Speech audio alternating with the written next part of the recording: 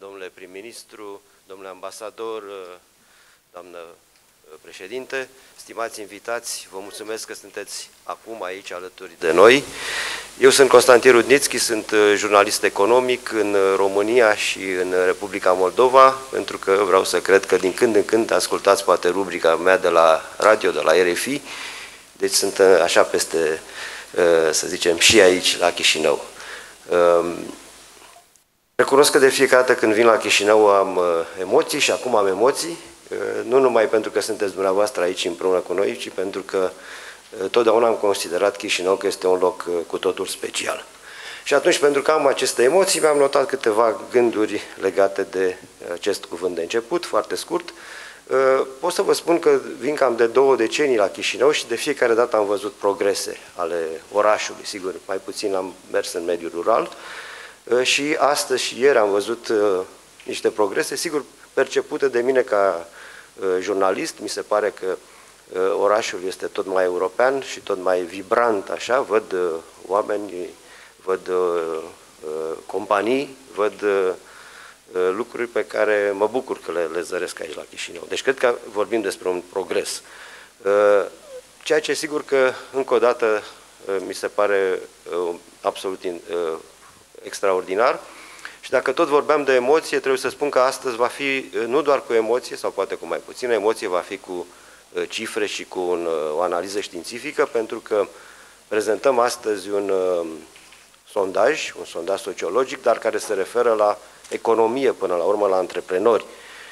Și este acest barometru al antreprenorilor care construiesc viitorul Republicii Moldova și sunt două lucruri pe care, care mi se par demne de spus, cel puțin la început, și importante, și anume că acest barometru este făcut și în Republica Moldova și în România, Astăzi se lansează în Republica Moldova, mâine îl vom lansa în România.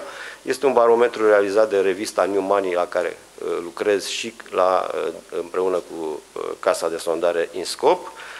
Pe de o parte, din câte știu eu, din câte mi-aduc aminte din activitatea mea de jurnalist, n-am mai avut un sondaj cu acest profil care să aibă aceste, această caracteristică. Și o a doua chestiune, acest sondaj răspunde și la câteva teme fierbinți, uh, interesante, dincolo de zona economică, și anume despre felul în care antreprenorii percep direcția în care se îndreaptă uh, țările noastre, mă refer la România și Republica Moldova, și despre, uh, să spunem, uh, felul în care ei privesc uh, raportarea la, de exemplu, la Uniunea Europeană. Mă opresc aici spunând doar atât, încă o dată, că sunt european, sigur sunt și român, uh, dar mă simt tot mai european și îmi place că mă simt așa tot mai european aici la Chișinău. Uh, începem uh, așadar uh, prezentările și să începem cu cuvintele de salut. O să invit pe doamna Natalia Gavrilița, este președintele Asociației Parteneriate pentru Noua Economie și fost prim-ministru al Republicii Moldova, să ne adreseze cuvântul domniei sale de salut. Doamna Gavrilița, vă, vă rog.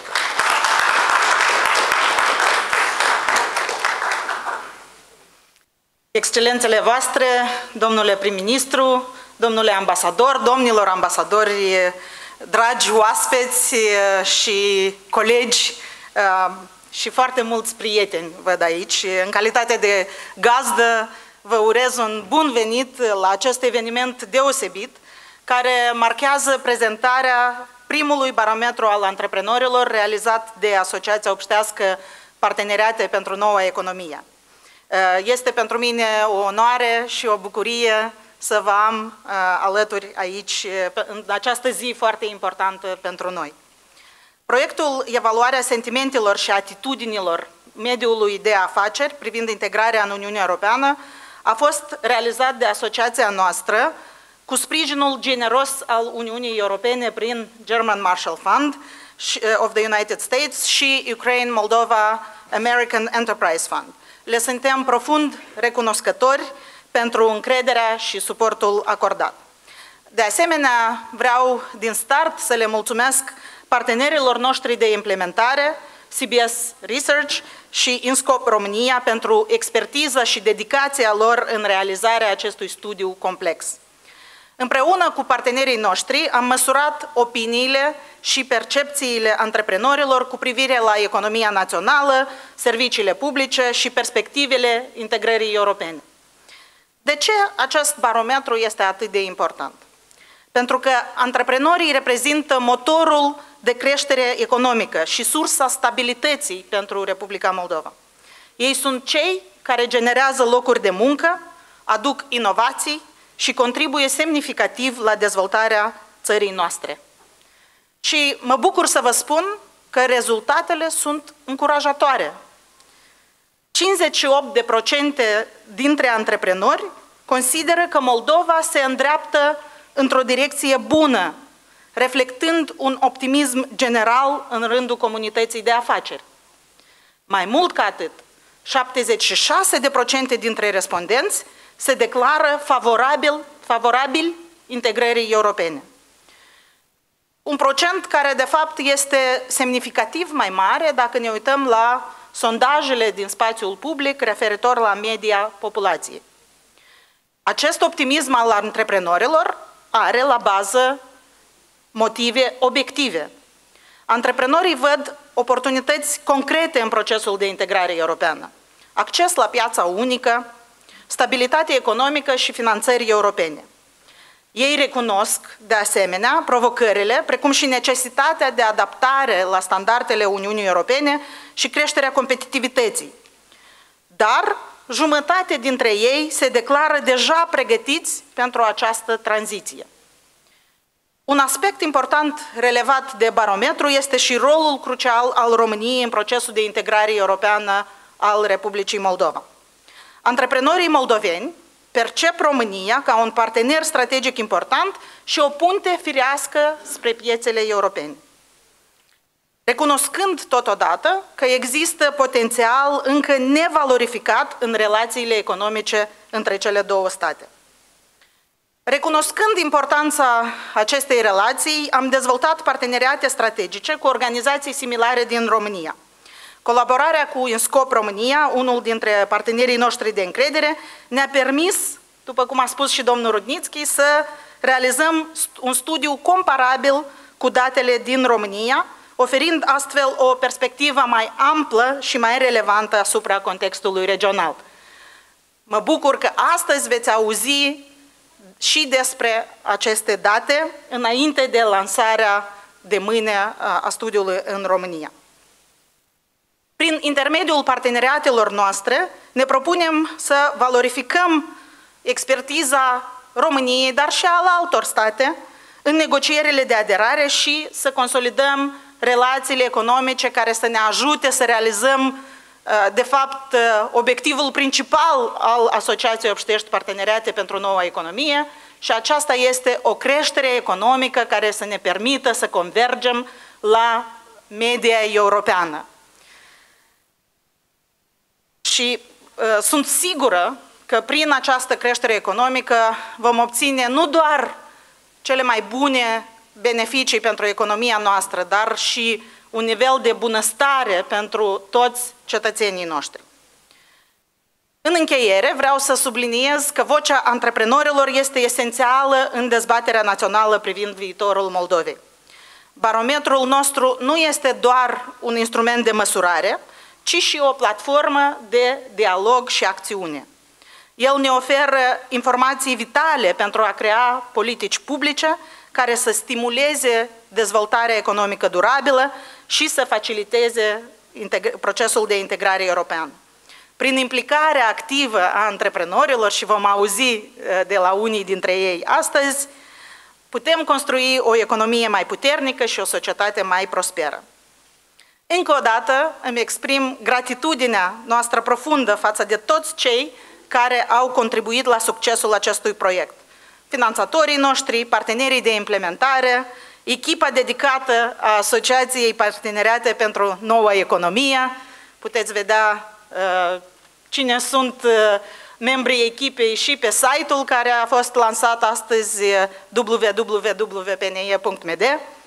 Uh, și nu în ultimul rând vreau să mulțumesc uh, antreprenorilor care au participat la acest studiu. Fără efortul și contribuția fiecărui participant la acest proiect, el evident nu ar fi fost posibil. Vă mulțumesc pentru atenție și vă invit să explorăm împreună rezultatele de, de, detaliate ale barometrului antreprenorilor. Uh, împreună, prin discuții și acțiuni de după acest eveniment, putem transforma aceste date în acțiuni concrete pentru un viitor mai bun pentru Republica Moldova. Mulțumesc! Mulțumim, uh, doamna Gavrilița. Imediat o să, puțin mai târziu, să avem și datele acestui barometru. Acum însă îl invit pe domnul Dorin Recean, este prim-ministrul Republicii Moldova, să ne adreseze un cuvânt de salut. Bună ziua, domnule prim Bună ziua la toată lumea și în primul rând vreau să mulțumesc Nataliei Gavriliță pentru faptul că întotdeauna a avut această predilecție ideologică, dar și foarte multă energie pentru dezvoltarea sectorului întreprinderilor mici și uh, mijlocii. Doamna prim-ministru Gavriliță, dragă Natalia, îți mulțumesc tare mult că ai păstrat această energie și în continuare lucrezi pentru ca să dezvoltăm sectorul întreprinderilor mici și mijlocii din Republica Moldova. Acest, acest sondaj are o valență foarte mare pentru guvern, pentru că ne ajută să ne calibrăm politicile publice în așa fel încât să creștem competitivitatea uh, întreprinderilor noastre. Este foarte bine și foarte bine gândit uh, să avem un studiu comparativ cu România, pentru că pentru mulți dintre ai noștri, România este primul pas de integrare în marea piață europeană. Or, dacă stăm și să ne gândim atent, cel mai, cea mai mare contribuție a Uniunii Europene, cel mai mare beneficiu al integrării Republicii Moldova în Uniunea Europeană, nu este atât fondurile de preaderare care iată, uh, iată vor veni, nu sunt atât fondurile pe care ulterior le vom primi de la uh, Uniunea Europeană, cât este marea piață, piața unică. Și aici trebuie să ne dezvoltăm capacitățile. Acum, uh, de ce ziceam că um, această analiză comparativă cu uh, România este foarte bună și aici vreau să mulțumesc și României pentru deschidere, pentru că pentru multe întreprinderi din Republica Moldova, piața din România este exact ce este necesară pentru a realiza aceste economii de scară. Ca noi să fim, ca și întreprinderi din Republica Moldova, importante și semnificative pentru întreaga uh, piață uh, unică, este un context foarte bun pentru a lansa rezultatele acestui sondaj și eu mă refer la recenta uh, grading pe care ni l-a, ni l-a oferit agenția Fitch. Încă o dată, mulțumesc mult, Natalia, mulțumesc tuturor celor care au fost implicați în proiect, dar și delegații Uniunii Europene pentru susținerea acestei inițiative. Vă mulțumesc!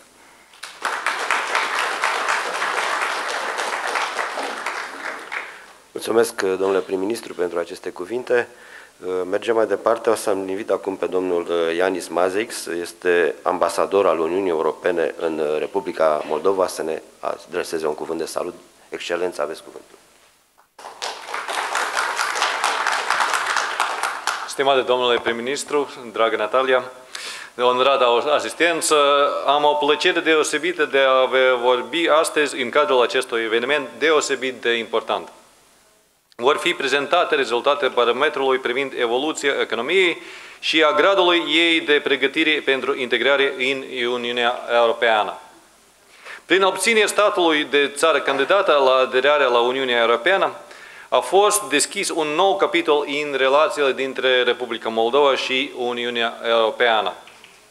Negocierile de, de aderare au demarat la sfârșitul iunii, lunii iunie în cadrul primei conferințe interguvernamentale și în cadrul căreia a fost prezentat cadrul de negocieri. Anume, prin intermediul negocierilor va fi discutat și evaluat gradul de, de pregătire a Republicii Moldova pentru aderarea la Uniunea Europeană. Procesul de screening care este în plină derulare prevede evaluarea legislației naționale a Republicii Moldova și a gradului de transpunere a acquis-ul comunitar. Un aspect critic de ce trebuie luat în considerație este modul în care legislația aliniată la chiul comunitar este implementată în realitate. Pentru aceasta este important că autoritățile să aibă capacitatea și voință politică de a asigura aplicarea normelor și standardelor europene într-un mod eficient și transparent. Interesele statului, a cetățenilor de rând, precum și a businessului, trebuie luate în considerare și asigurat echilibrul cuvenit. Rolul critic pe care Republica Moldova îl va avea în calitate de țară membră a Uniunii Europene este că va participa direct în procesul de creare a achiului comunitar și își va putea promova direct interesele sale. La moment, în calitate de țară non-membru, nu poate face acest lucru. Aș dori să vorbesc despre impactul asupra businessului a procesului de integrare UE. De 10 ani, relațiile comerciale dintre Uniunea Europeană și Republica Moldova sunt ghidate de zona de liber schimb aprofundat și cuprinzător, parte a acordului de asociere. De 10 ani asistăm la un proces irreversibil de integrare economică a Republicii Moldova și a companiilor moldovenești în economia Uniunii Europene și în lanțurile valorice europene. Datorită acestui fapt, Uniunea Europeană a devenit principalul partener comercial al Republicii Moldova și principală sursă de investiții străine directe.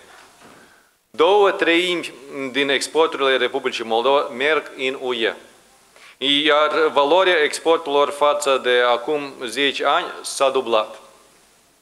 DCFTA a inițiat procesul de aproximare legislativă prin care companiile au început să implementeze standardele internaționale și normele Uniunii Europene în activitatea sa. Consider că implementarea achiului comunitar nu va reprezenta o provocare majoră pentru companiile din Republica Moldova, deoarece în mare parte cei ce practică activitatea externă deja cunosc despre modul în care funcționează piața UE. Cu siguranță că și companiile ce activează pe piața locală vor fi afectate de noile cerințe aduse odată cu procesul de integrare europeană. Acest aspect ar trebui privit ca o oportunitate de dezvoltare. Din fericire, există multe exemple frumoase al companiilor ce exportă către UE care au reușit să se ajusteze și, într-un final, să se dezvolte cu succes – datorită stabilității și predictibilității pieței Uniunii Europene. Uniunea Europeană susține atât companiile locale cât și autoritățile naționale în procesul de adoptare normelor și standardelor europene prin intermediul asistenței financiare și a expertizei corespunzătoare. Susținem activ dezvoltarea și facilitarea procesului de acces la finanțare pentru a ajuta companiile locale să se modernizeze și se poate face față noilor condiții eh, și circumstanțe. Mizem pe faptul că Guvernul va continua cu fermitate procesul de integrare europeană la un nivel calitativ înalt. Sunt încrezător că atât cetățenii Republicii Moldova, cât și companiile moldovenești se vor simți ca acasă, în marea familie a Uniunii Europene. Vă mulțumesc pentru atenție.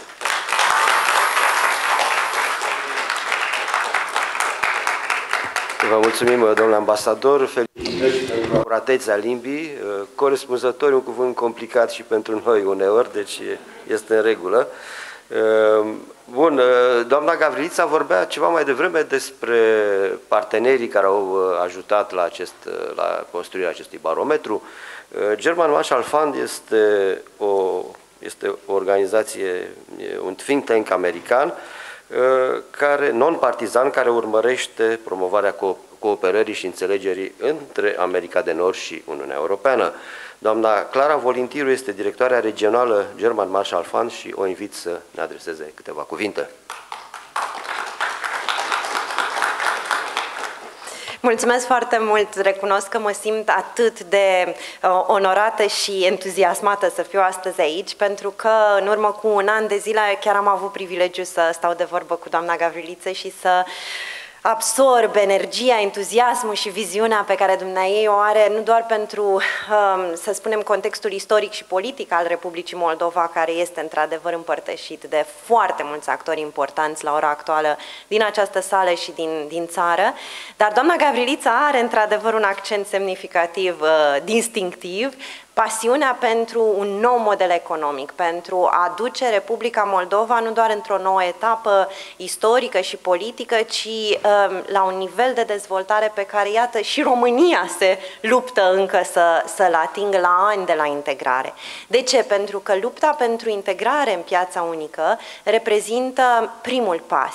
Beneficiile pe care o țară, actorii economici și cetățenii acelei țări le extrag este o luptă permanentă și ea trebuie susținută de exact acest tip de inițiative și proiecte, care presupun o metodă excepțională. Diagnostic, identificarea oportunităților și a problemelor. Iată, barometru pentru care ne întâlnim astăzi să, să discutăm și să ne bucurăm de datele încurajatoare.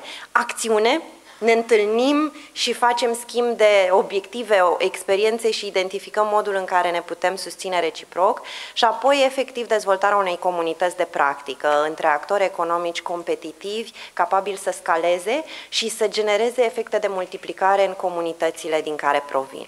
Practic o nouă economie din punctul meu de vedere și iarăși sunt conversații pe care noi le-am avut pe parcursul ultimului an, înseamnă două axe de dezvoltare, verticală și orizontală. Axa verticală verticală este într-adevăr uh, generată și ancorată în procesul de aderare la piața unică, în acest tip de uh, scalare uh, în regiune. Și nu numai, pentru că o economie inovativă, cu valoare adăugată, cu un indice de complexitate mai mare, în care antreprenoriatul autohton poate să fie competitiv la nivel regional și, de ce nu, global, Startup Globals, este absolut un deziderat fezabil atât pentru Republica Moldova cât și pentru România în continuare. Și a doua componentă orizontală este de a se ancora cât mai bine dezvoltarea economică pe tot teritoriul țărilor noastre. Și România a aderat în primul rând cu capital. Și și în România astăzi ne luptăm cu disparități subnaționale de dezvoltare care uh, creează în continuare provocări structurale. Emigrație masivă, uh, un nivel de sărăcie și lipsă de convergență în teritoriu, lucruri care nu țin de un eșec al integrării europene, ci de un eșec al economiilor locale de a se dezvolta suficient de mult, de bine și împreună cu actorii locali. Și atunci, iată cum e bine să anticipăm aceste provocări și să le adresăm, pentru că viața noastră a tuturor va fi mai bună în condițiile în care asimilăm reziliența economică locală.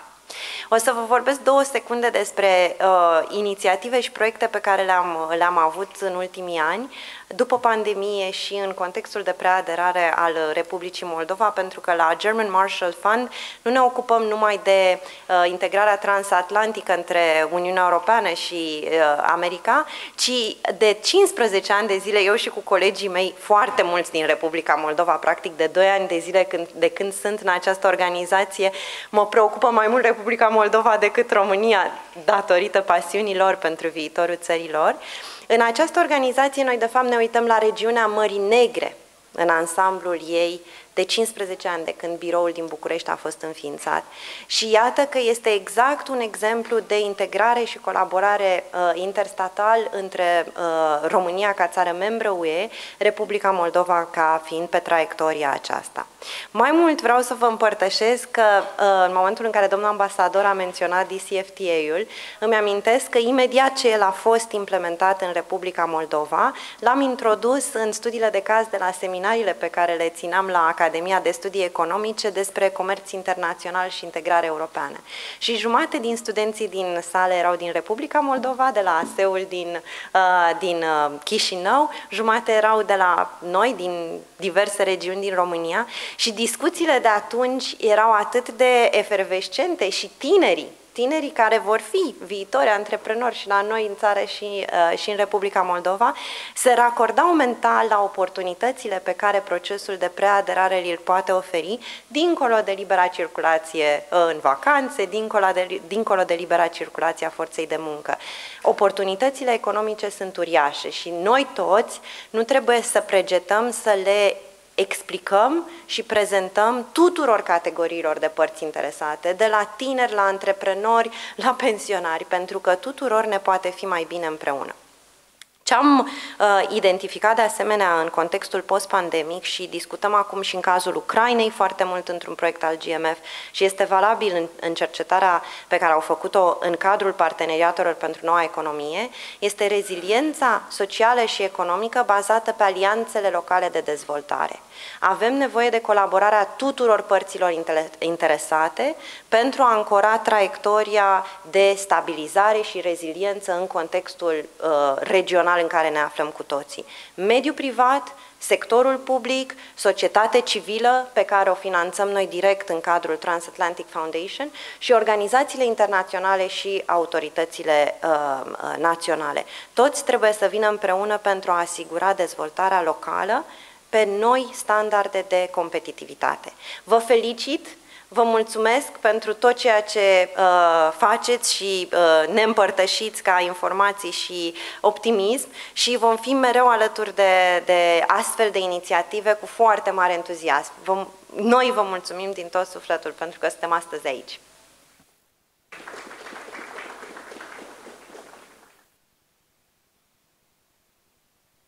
Mulțumim, doamna uh, Volintiru, pentru prezentare.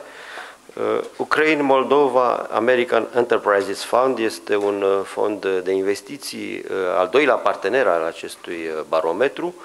Sunt mai multe cifre, acolo le puteți găsi cu siguranță. Eu vă spune doar că acest fond derulează proiecte de, și programe de 35 de milioane de dolari în ultimii 9 ani.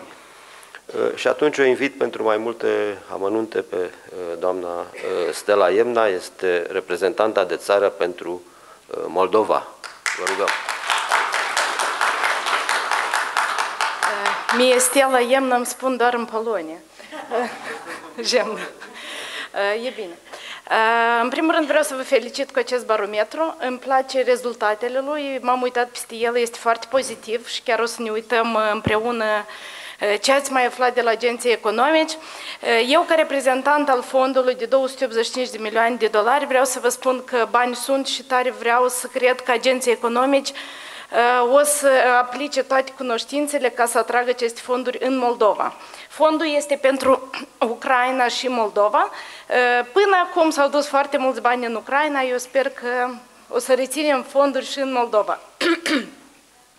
Acestea fiind spuse, uh, o să vă zic doar scurt, în ultimul an am dezvoltat peste 40 de proiecte în Moldova, toate proiectele sunt pentru întreprinderile mici și mijlocii.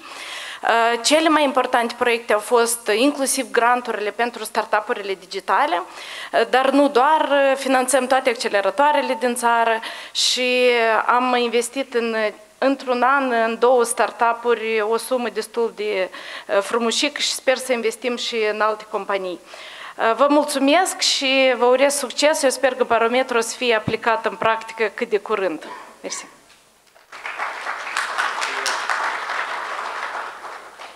Mulțumesc. Știți care este coșmarul unui moderator sau coșmarurile? Unu, să pronunțe corect numele, nu prea mi-a ieșit, îmi cer scuze. Și doi, să fie atent la timp, pentru că timpul e important într-un eveniment. De data aceasta suntem în timp, mulțumesc că am constatat că Parcă am vorbit eu mai mult la început decât unii dintre invitații, îmi cer scuze dacă am exagerat. Bun, trecem mai departe la uh, prezentarea barometrului. Uh, domnul Dumitru Pântea este expert economic, director uh, Beyond Investments, ne prezintă barometru. Vă rog. Stimată audiență, am deosebită plăcere să fiu cel care astăzi va prezenta rezultatele barometrului antreprenorilor care construiesc viitorul Republicii Moldova. De ce antreprenorii care construiesc viitorul țării? Pentru că a, antreprenorii sunt cei care generează locuri de muncă, sunt cei care creează valoare adăugată, cei care aduc a, taxe și impozite la bugetul de stat pentru implementarea diferitor politici publice și cei care a, aduc dezvoltarea țării. Iar fără um, o implicare pe măsură a acestora și celelalte sectoare ale societății, um, nu sunt în măsură să-și realizeze potențialul. Barometrul antreprenorilor a fost menționat, este un proiect comun cu partenerii noștri din România. Astăzi prezentăm rezultatele aici la Chișinău, iar mâine vor fi prezentate rezultatele um, la București. Um, barometrul are la bază un sondaj realizat de către compania locală CBS Research în parteneriat cu compania InScope uh, România. Metodologia acestui uh, barometru, doar o secundă să vedem ce cu... Poate ajuta cineva că nu merge...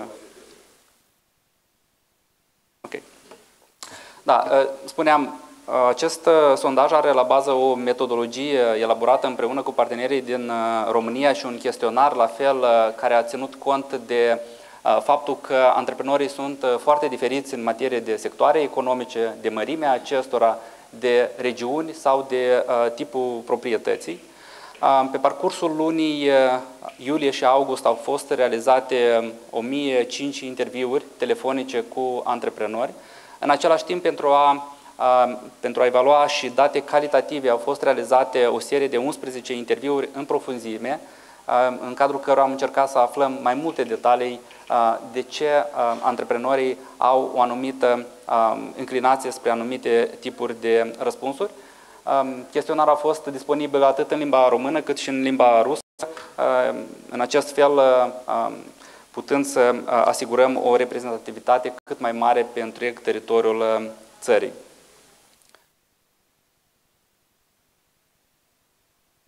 Rezultatele a, sunt grupate în patru dimensiuni.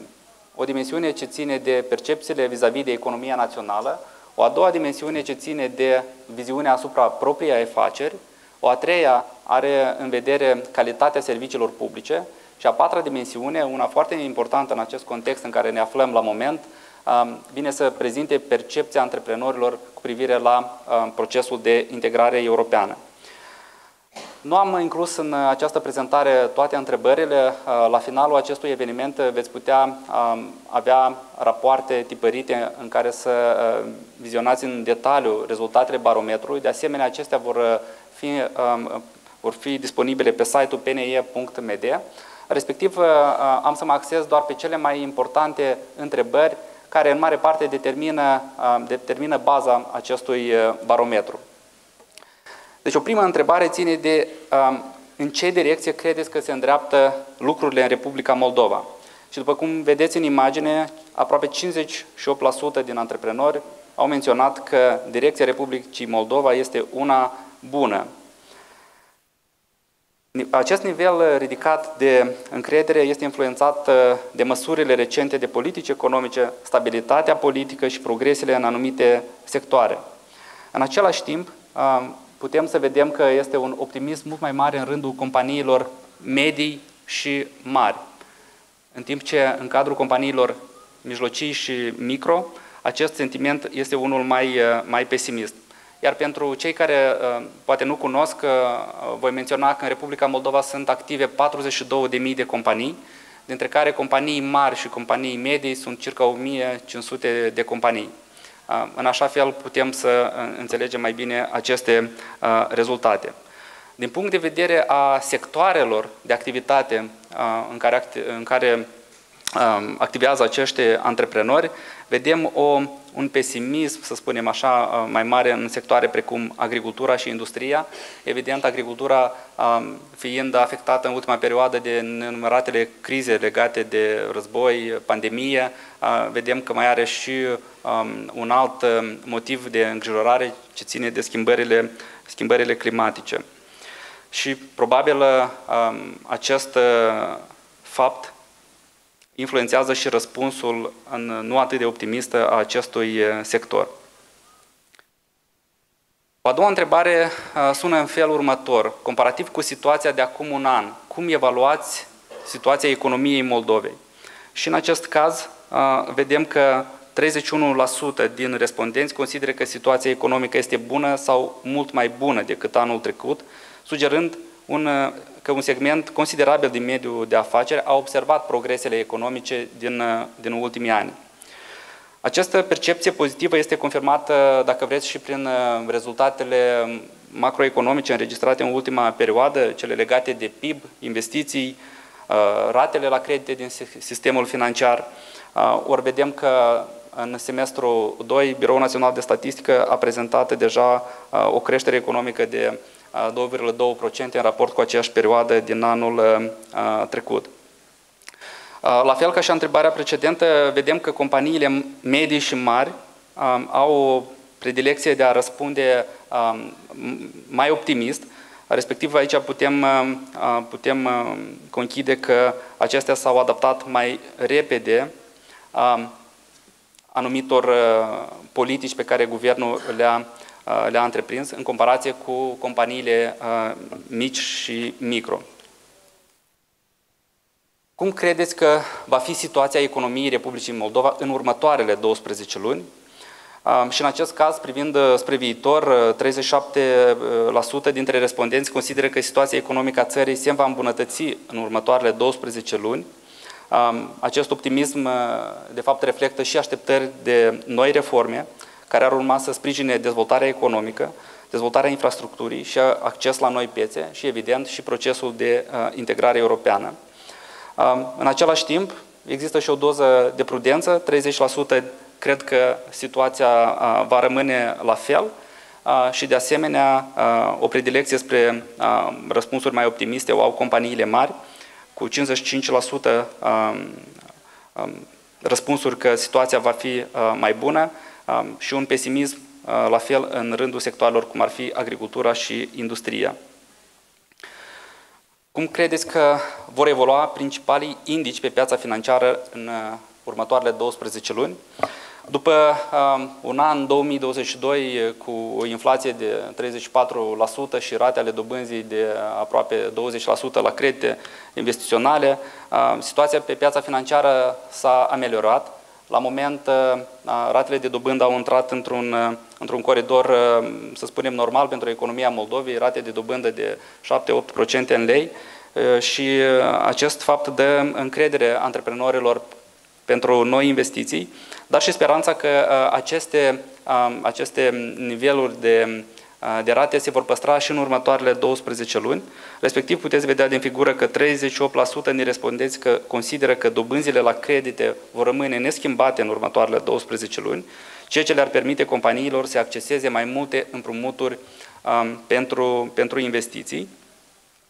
Um, evident, și programele de stat, cum ar fi Fondul de Garantare a Creditelor sau programul 373, Fondul Facem, au venit să, um, să compenseze anumite um, probleme pe care antreprenorii le întâmpinau pe partea de credite, uh, credite bancare și um, antreprenorii uh, se așteaptă că aceste programe vor continua uh, și mai departe. În ceea ce privește cursul de schimb, noi, practic, în ultimii 15 ani am avut o stabilitate a acestuia cu mici excepții în perioade de crize și, la fel, antreprenorii, în proporție destul de mare, 54%, se așteaptă că cursul valutar va rămâne stabil. Doar că Trebuie să mai menționăm că antreprenorii care sunt și exportatori um, văd acest uh, curs puternic al leului moldovenesc în raport cu dolarul sau euro, văd o problemă um, destul de mare. Uh, mă uit la antreprenorii care urmează să vorbească mai târziu și uh, confirmă sau confirmă acest lucru. Și pe partea de rate de, dob- uh, de, rate de dobândă la depozite, um, Așteptările sunt că acestea la fel vor rămâne destul de mici. La moment sunt rate de fapt real negative din perspectiva nivelului inflației. Inflația deja a ajuns la un nivel de vreo 5%, iar ratele de, la depozite sunt undeva la 3%. Deci avem o rate real negative. Următorul um, capitol al barometrului ține de percepțiile antreprenorilor privire la propria uh, afacere. Și la întrebarea cum evaluați situația a dumneavoastră la moment comparativ cu acum un an, 38% din respondenți consideră că situația financiară a companiilor a rămas stabilă, ceea ce reflectă o reziliență economică în fața provocărilor recente și chiar 24% din companii au raportat o îmbunătățire a situației financiare, semn că există afaceri care au reușit să se adapteze și să-și optimizeze operațiunile pe care le desfășoară. Din perspectiva percepțiilor pe care le au asupra situației din următoarele 12 luni, Companiile, antreprenorii menționează în proporție de 42%. Deci eu când spun 42%, îmi sumez primele mult mai bună și mai bună. Deci consideră că situația urmează să se îmbunătățească și acest optimist, optimism reflectă așteptările privind condiții economice favorabile, creșterea cererii pe intern și extern, precum și accesul la noi surse de finanțare în contextul accelerării procesului de integrare cu Uniunea Europeană. Pe dimensiunea forței de muncă, un domeniu destul de destul de discutat în ultima perioadă. Mare parte din antreprenori, în proporție de 62%, menționează că vor păstra același număr de angajați și asta nu neapărat prin faptul că au o activitate economică mai mare sau ea se menține. Am mulți antreprenori menționează că este mult mai greu să creeze locuri de muncă noi și mai bine păstrăm forța de muncă care o avem la moment, chiar dacă perioada de activitate nu este una din cele mai, mai bune. Pentru că să găsești persoane noi pe piața forței de muncă este o dificultate pentru foarte multe din companiile autohtone. În același timp, 27% din, din antreprenori menționează că vor angaja și mai mult personal în următoarea perioadă. Um, și când, um, când um, această întrebare a fost pusă în cadrul interviurilor calitative, aceștia au menționat că sunt deschiși și pentru forță de muncă uh, din, din extern. Și o ultimă întrebare la acest uh, capitol ține de um, care sunt percepțiile antreprenorilor pentru următoarele 12 luni, ce va face compania, dacă, își va, um, dacă va investi resurse suplimentare și dacă își va extinde activitatea. În acest uh, caz, 53% dintre respondenți intenționează să investească în dezvoltare sau extinderea afacerilor, iar majoritatea companiilor anticipează oportunități de creștere și se pregătesc să valorifice suportul acordat de către, de către stat. Deci spiritul investițional și-a revenit într-o oarecare măsură după anii grei din 2022-2023, inclusiv urmare instrumentelor de suport pe care au fost lansate de către, de către guvern. Am să merg mai departe. Dimensiunea 3 vine să evalueze percepțiile antreprenorilor privind serviciile publice, iar când vorbim de servicii publice ne referim în primul rând la instituțiile statului, președinție, guvern, parlament și autoritățile locale.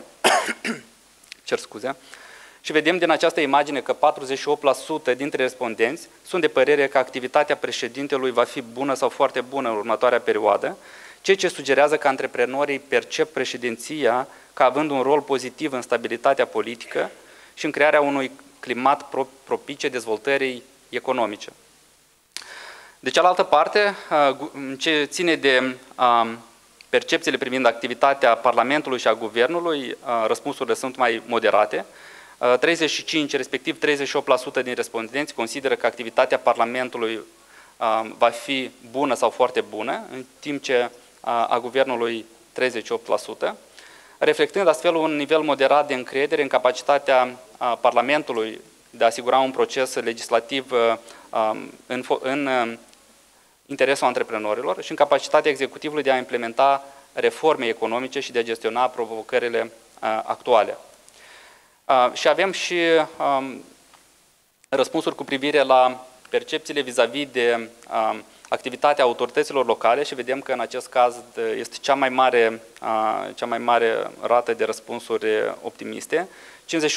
51% dintre respondenți consideră că activitatea primăriei în raza căreia își desfășoară activitatea va fi bună sau foarte bună următoarele 12 luni, ceea ce indică o încredere relativ ridicată în capacitatea administrațiilor locale de a sprijini dezvoltarea economică.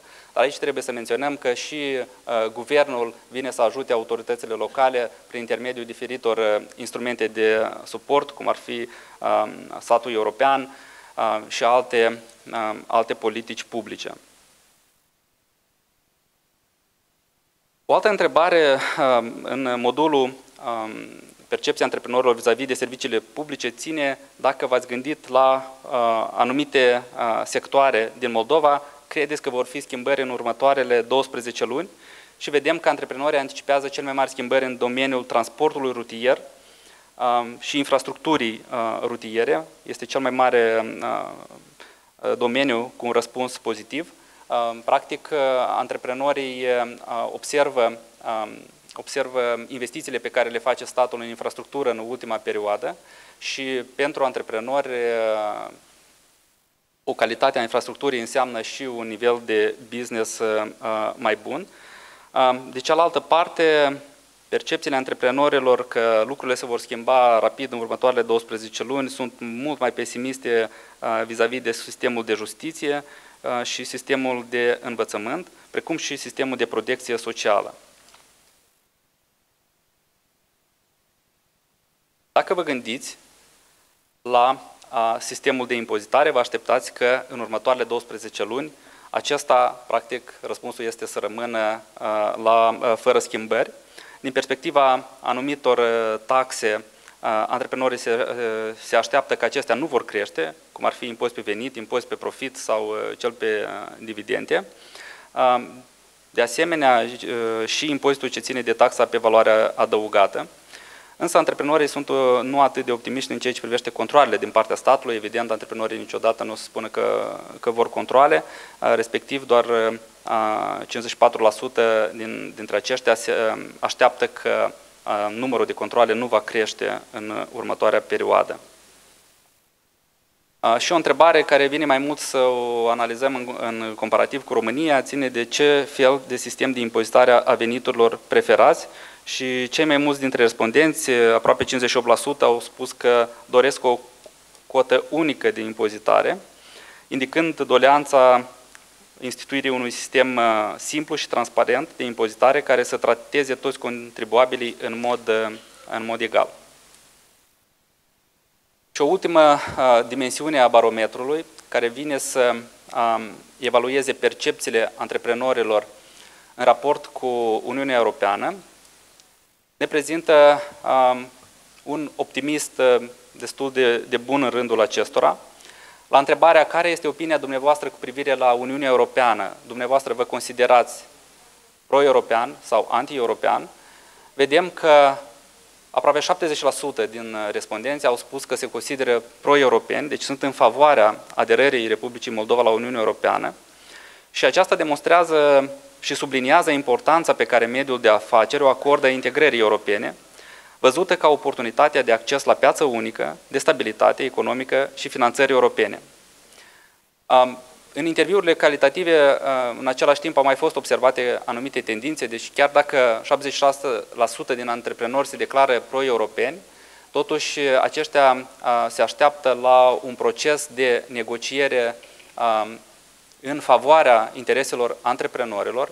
Ei se așteaptă ca guvernul să vină cu, um, cu un proces de negociere calitativ, să pună pe masă interesul antreprenorilor autohtoni și, de ce nu, pe anumite domenii să, uh, să obțină anumite uh, facilități în raport cu alte state care au aderat la uh, Uniunea Europeană. Ce cred antreprenorii autohtoni despre integrarea în Europeană? 66% spun că uh, integrarea va aduce mai degrabă avantaje, uh, va aduce avantaje importante pentru țară și pentru afacerile locale. Uh, evident, aceste avantaje uh, antreprenorii le, le anticipează pe dimensiunea de stabilitate economică și politică, acces la finanțare și, în ultimul rând, prin intermediul de granturi, creșterea standardelor de calitate și acces sporit la piața uh, europeană. După cum a fost menționat, uh, integrarea europeană nu este doar despre oportunități, dar este și despre provocări și antreprenorii autohtoni menționează că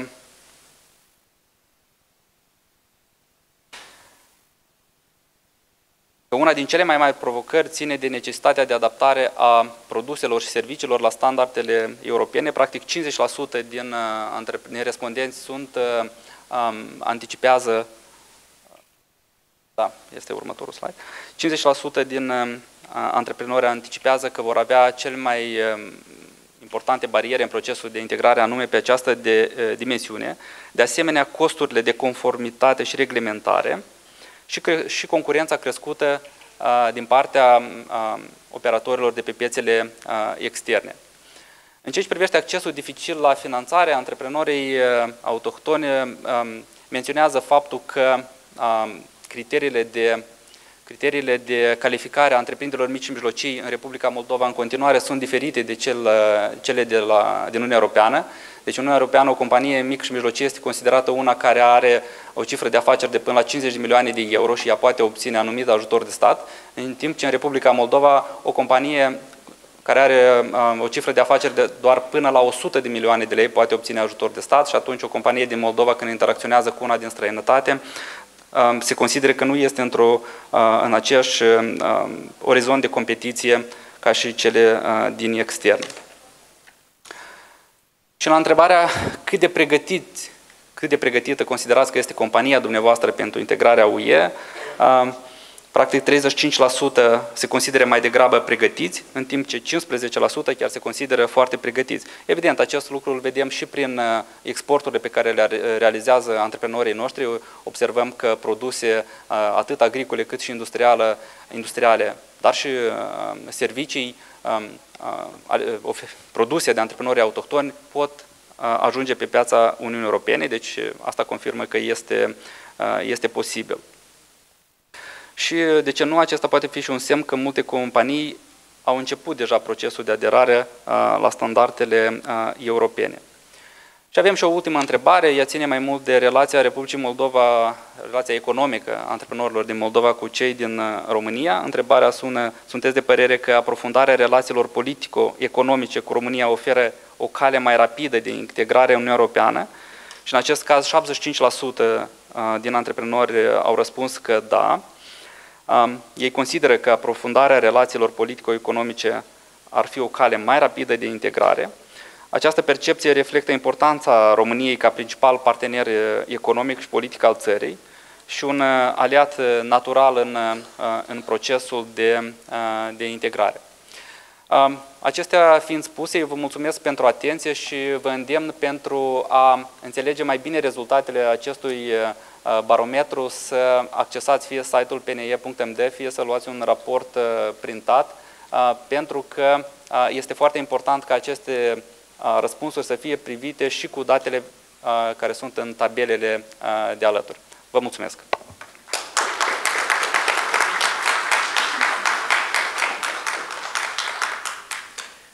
Vă mulțumim, domnule Pântea. Felicitări încă o dată pentru realizarea acestui barometru, nu numai dumneavoastră, întregi echipe. Acum suntem în fața unei legături video, să vedem cum dacă ne iese, adică ne iese, dar să vedem dacă suntem cu domnul Remuș Tefureac împreună cu dânsul. Remuș Tefureac este politolog și director InScope Research, compania care a derulat acest barometru în România și cu care, a, cu care s-a colaborat și aici pentru Republica Moldova. Bună ziua, Remuș Ștefureac, vă salutăm și mulțumim pentru prezență. Bună ziua, bună ziua tuturor, sper că ne auzim și ne și vedem. Ne și auzim, ne și vedem foarte bine, avem în față, dumneavoastră nu vedeți o sală plină, deci o, vă, vă ascultăm, vă rog. O văd și... A, o vedeți, perfect. Bună ziua și uh, Uh, înainte de toate, scuzele mele că nu am putut să, uh, să ajung la Chișinău. Din păcate a trebuit să ne împărțim. Uh, Constantin Rudnischi, redactorul șef de la Numani, să același timp noi suntem cu ultimele pregătiri pentru evenimentul de mâine, în cadrul căruia vom prezenta, sigur, și barometrul antreprenorilor din România, dar și barometrul antreprenorilor din Republica Moldova, ceea ce ați, ați văzut astăzi. Înainte de toate, aș dori uh, enorm să mulțumesc uh, German Marshall Fund și Clarei uh, Volintiru pentru sprijinul foarte puternic pe care l-a acordat acestui proiect. În momentul în care am venit cu această idee, a realizat rapid conexiunile necesare doamnei Natalia Gavrilic pentru entuziasm, pentru a aduce cumva resurse din mai mulți toni Ukrainian Moldovan American Enterprise Fund și alte entități care au sprijinit acest proiect. Evident, newmoney.ro, revista New Money, care a sprijinit generos acest proiect, proiectul din, din România. Ceea ce ne-am propus și ne propunem cu acest proiect este poate cumva să depășim și s-au făcut enorm de mulți pași în ultimii ani, grație și guvernelor de la București și de la Chișinău, să depășim etapa, să spunem, podurilor de flori, o etapă foarte bună de altfel, dar cred că în, în anul 2024, în secolul 21, e nevoie de foarte mult pragmatism, e nevoie să construim punți solide, iar punțile cele mai solide între cele două țări sunt punțile economice și punțile care sunt construite de la baza lanțului trofic economic, adică de la, dinspre, dinspre antreprenori.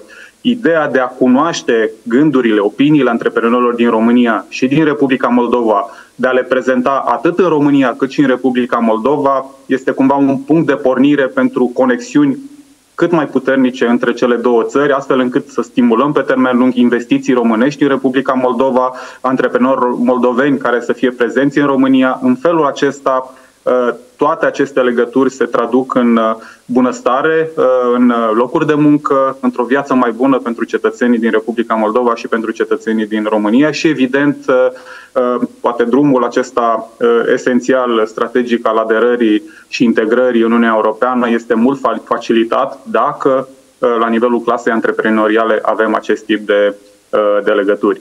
Ce mi-am propus astăzi, în cele 12 minute cât au mai rămas, Uh, este să prezint uh, o parte din uh, datele din România, din datele barometrului antreprenorilor din România, de, de asemenea câteva date din studiile in scope research așa mai generale cu privire la percepția populației generale, percepția românilor cu privire la Republica Moldova, la lideri, la procesul de aderare al Moldovei la Uniunea Europeană. În acest context mai larg, cred că Uh, putem să stimulăm o dezbatere și mai amplă și, dincolo de dezbatere, acțiuni concrete, așa cum este și aceasta. Uh, practic, uh, mâine vom avea o delegație foarte importantă din Republica Moldova și de antreprenori în cadrul evenimentului de la București. De asemenea, aș mai preciza și cu asta voi trece la prezentare, ne propunem ca acest proiect să fie unul bianual. Un barometru înseamnă să vedem și evoluții și, evident, cu fiecare ediție să crească interacțiunea. La ediția următoare ne-am dorit să avem un grup mare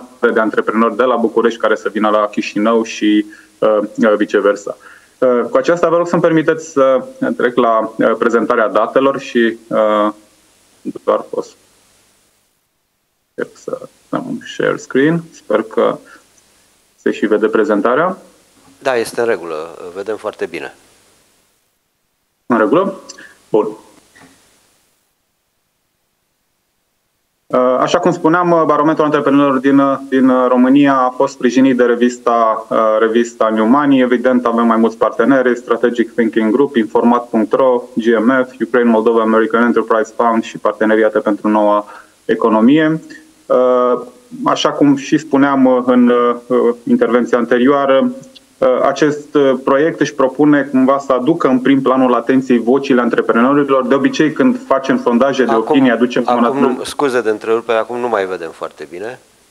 Uh, mă rog, încercăm, poate re, rezolvăm.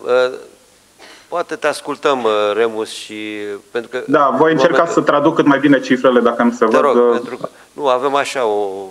Mă rog, nu se vede. ok, da. te ascultăm pare rău. Uh, spuneam că ne propunem să aducem vocile antreprenorilor în prim plan. De regulă, când realizăm sondaje de opinie, uh, Vă rog să-mi confirmați, dacă nu se vede, voi reveni la imaginea, uh, să spunem cu mine, și voi traduce cifrele în da, cât da. mai multe cuvinte. Preferăm să te vedem pe tine de zăpăcea așa complet. Deci, te rog, te vedem pe tine și te ascultăm. Te rog. În regulă. Eu am revenit la la inițială. Mă rog, sper să se și vadă ceva. Dacă nu, măcar pe voce. Pe voce e clar, suntem, suntem Bun. bine. Spuneam că ne dorim să aducem în prim plan vocea antreprenorilor. De obicei, prin sondajele de opinie, aducem în prim plan vocea populației generale. De această dată, cred că această clasă antreprenorială care contribuie atât de mult la dezvoltarea economiei, la, până la urmă, alimentarea bugetelor naționale, care sunt cumva uh, drive-ul principal care mișcă economia în, în, înainte, este important să fie auzită, să vedem perspectivele lor asupra economiilor țărilor noastre, să vedem perspectivele lor asupra propriilor afaceri și, evident, perspectivele lor asupra serviciilor publice esențiale din fiecare țară. Pentru că, în acest fel, și autoritățile se pot racorda la aceste percepții și, evident, să avem politici publice mai bune. Uh, ce mi-am propus uh, uh, foarte pe scurt să prezint câteva date cu privire la percepția antreprenorilor din România față de economia României și evident le vom putea compara cu datele prezentate anterior de Dumitru.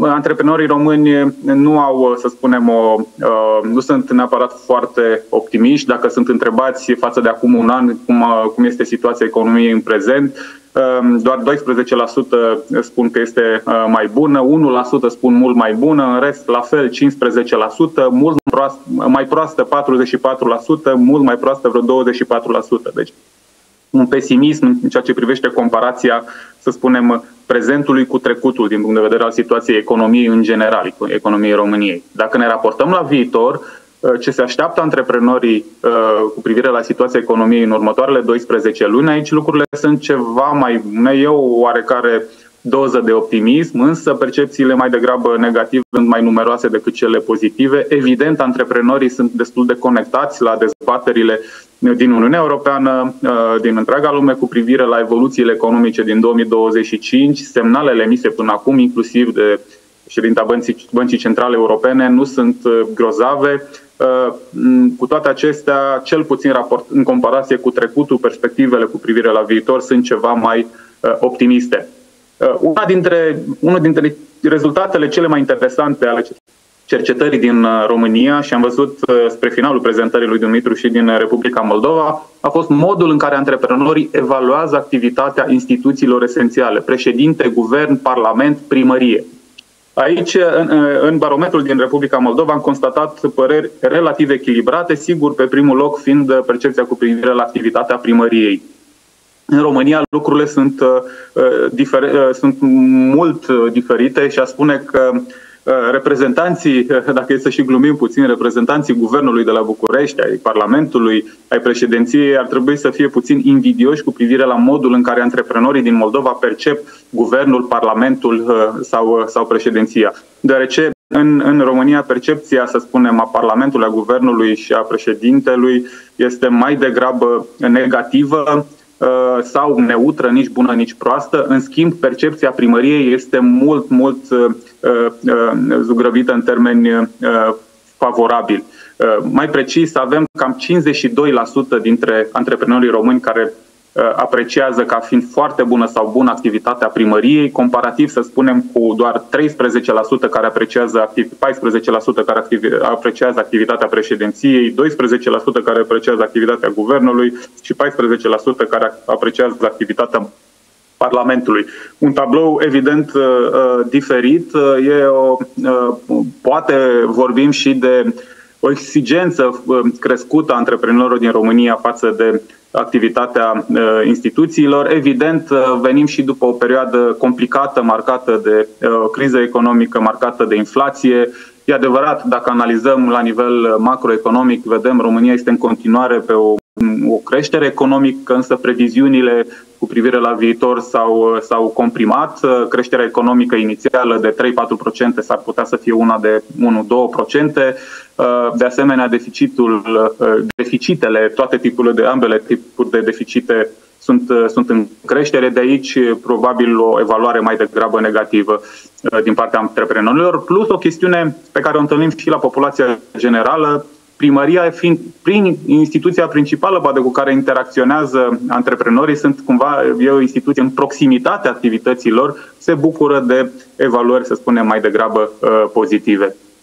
Uh, în ceea ce privește situația financiară a propriei companii, uh, antreprenorii din România uh, spun uh, că în acest an, comparativ cu anul trecut, situația financiară a, comp- a companiei Um, este uh, mai degrabă, uh, uh, mai fie la fel, să spunem 34%, în jur de 34% spun că este mult mai proastă sau mai proastă și în jur de 28% spun că este mult mai bună sau mai bună. perspectiva pentru viitor este de această dată mai optimistă și mult îmbunătățită comparativ cu perspectiva generală asupra economiei, în sensul în care în România cam 38-39% dintre antreprenori cred că anul viitor situația propriei companii va fi ceva mai bună decât, decât anul acesta. Vreo 37% consideră că va fi la fel și doar 21% spun că situația propriei companii va fi mai proastă. Deci este un optimism, sigur, comparativ cu dificultățile care au, efectuat, care au afectat economia României, să spunem, în ultimele 12 luni, o proiecție pozitivă pentru viitor, sigur, reflectă poate și un nivel de așteptări, inclusiv post-electorale, și în România și în Republica Moldova avem alegeri foarte importante. În România, după cum știți, uh, alegeri parlamentare și prezidențiale, va fi o schimbare uh, de ciclu prezidențial, se încheie 10 ani de mandat a unui președinte, se va fi o schimbare de ciclu guvernamental, prin urmare la fiecare moment de acest tip există așteptări uh, cu privire la, cu privire la viitor. Altfel, antreprenorii din România sunt, au așteptări mai degrabă de creștere a creditelor, a dobânzilor la credite, de creștere parțială a impozitului uh, pe venitul din salarii, a impozitului pe profit, a impozitului pe uh, dividende. În general, uh, cred antreprenorii din România că acestea vor crește puțin, probabil și pe fondul faptului că deficitele sunt mai mari și cumva guvernul va trebui, autoritățile vor trebui să recupereze, să spunem, Um, să acopere cumva găurile, uh, găurile din buget anul viitor, fie prin creșteri de taxe, fie prin alte măsuri mai, uh, uh, mai dure, care probabil vor fi, vor fi evitate. De exemplu, creșterea TVA, care e un, fel, un tip de taxă care afectează întreaga populație, Uh, să spunem, uh, marea majoritate a antreprenorilor cred că TVA în România va rămâne, uh, va rămâne totuși la fel, guvernul evitând o astfel de măsură profund nepopulară care a fost luată în 2010, în urmă cu 14 ani și a, a produs efecte negative la nivelul, la nivelul societății. În ceea ce privește raportarea antreprenorilor români la Uniunea Europeană, aproape 80% dintre antreprenorii din România se consideră mai degrabă pro-europeni, avem și un 15% care se consideră mai degrabă anti-europeni. După cum știți, în, în, în orice procenturile oricum sunt uh, excelente, inclusiv dacă le compar, le-am comparat cu ceea ce înregistrăm în alte, alte state europene, însă și în România există, uh, hai să spunem, un culoar îngust, foarte îngust, uneori sigur se mai și Uh, uh, se mai și umflă, mai ales în perioadele preelectorale, de public mai degrabă um, eurosceptic, uh, ostil, să spunem, um, aderării, integrării și apartenenței României la Uniunea Europeană, însă acest public, repet, este limitat. Dacă am comparat aceste cifre cu cifrele pe care le găsim la nivelul populației generale, le sunt similare, în sensul în care 75 spre 80% dintre români apreciază beneficiile apartenenței la Uniunea Europeană, fiind evidente prin transferurile foarte mari de uh, resurse, de legislație, Uh, resurse care au permis, evident, uh, refacerea infrastructurii. Sunt mari proiecte de reabilitare, refacerea infrastructurii în România și nu numai uh, ca să vorbim doar de niște beneficii foarte concrete ale aderării dincolo de accesul la piața, piața unică europeană. În ceea ce privește opinia, opinia antreprenorilor din, din România cu privire la integrarea Republicii Moldova în Uniunea Europeană, Uh, să spunem, doar 21% spun că ar aduce dezavantaje economiei României, restul uh, sunt neutri sau, din potrivă, majoritatea consideră că integrarea uh, Republicii Moldova în Uniunea Europeană ar aduce mai degrabă avantaje economiei României. În final, sper că mai avem 3-4 minute, Ehm, aș trece eh, la câteva date generale, câteva date extrase din cercetările în scop realizate în cursul acestui an. Mă refer la sondaje aplicate nu antreprenorilor, ci populației eh, României.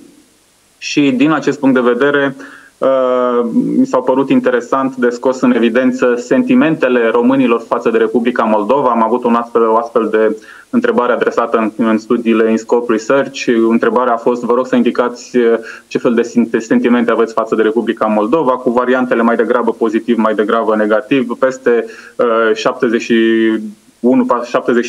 72% dintre români au sentimente mai degrabă pozitive. Uh, comparativ cu alte țări, evident, cifra este uh, foarte, foarte ridicată. De asemenea, dacă ne uităm la încrederea în personalități internaționale, uh, sigur, dincolo de avem un astfel de clasament în care introducem diversi lideri internaționali, inclusiv președinta Republicii Moldova, doamna Maia Sandu, Uh, și în acest clasament, sigur, dincolo de detașarea regelui Charles al Marii Britanii, dar e o altă, o altă chestiune, uh, probabil sunteți la curent, uh, apropierea regelui Charles de România și popularitatea sa foarte ridicată. Președinta Republicii Moldova, Maia Sandu, se bucură de cel mai ridicat nivel de popularitate în România. 34% dintre români au încredere mare și foarte mare în în, în Maia Sandu, uh, urmată sigur de lideri europeni, uh, președintele Macron, uh, președintele Statelor Unite, uh, cancelarul german, uh, președinta uh, Comisiei Europene, Uh, și, sigur, pe un ultim loc, uh, președintele Rusiei, Vladimir Putin, cu aproximativ 11%. Aș spune că nivelul de popularitate al doamnei Maia Sandu în România este semnificativ mai ridicat decât uh, nivelul de popularitate în, al liderilor politici din, din România. Vedem diferențe destul de, de mari, dar, repet, contextele electorale de fiecare dată sunt, sunt complicate oriunde în lume. Uh, în fine, uh, o ultimă, uh, o ultimă întrebare foarte relevantă. Opinia românilor, opinia populației din România cu privire la aderarea Republicii Moldova la Uniunea Europeană.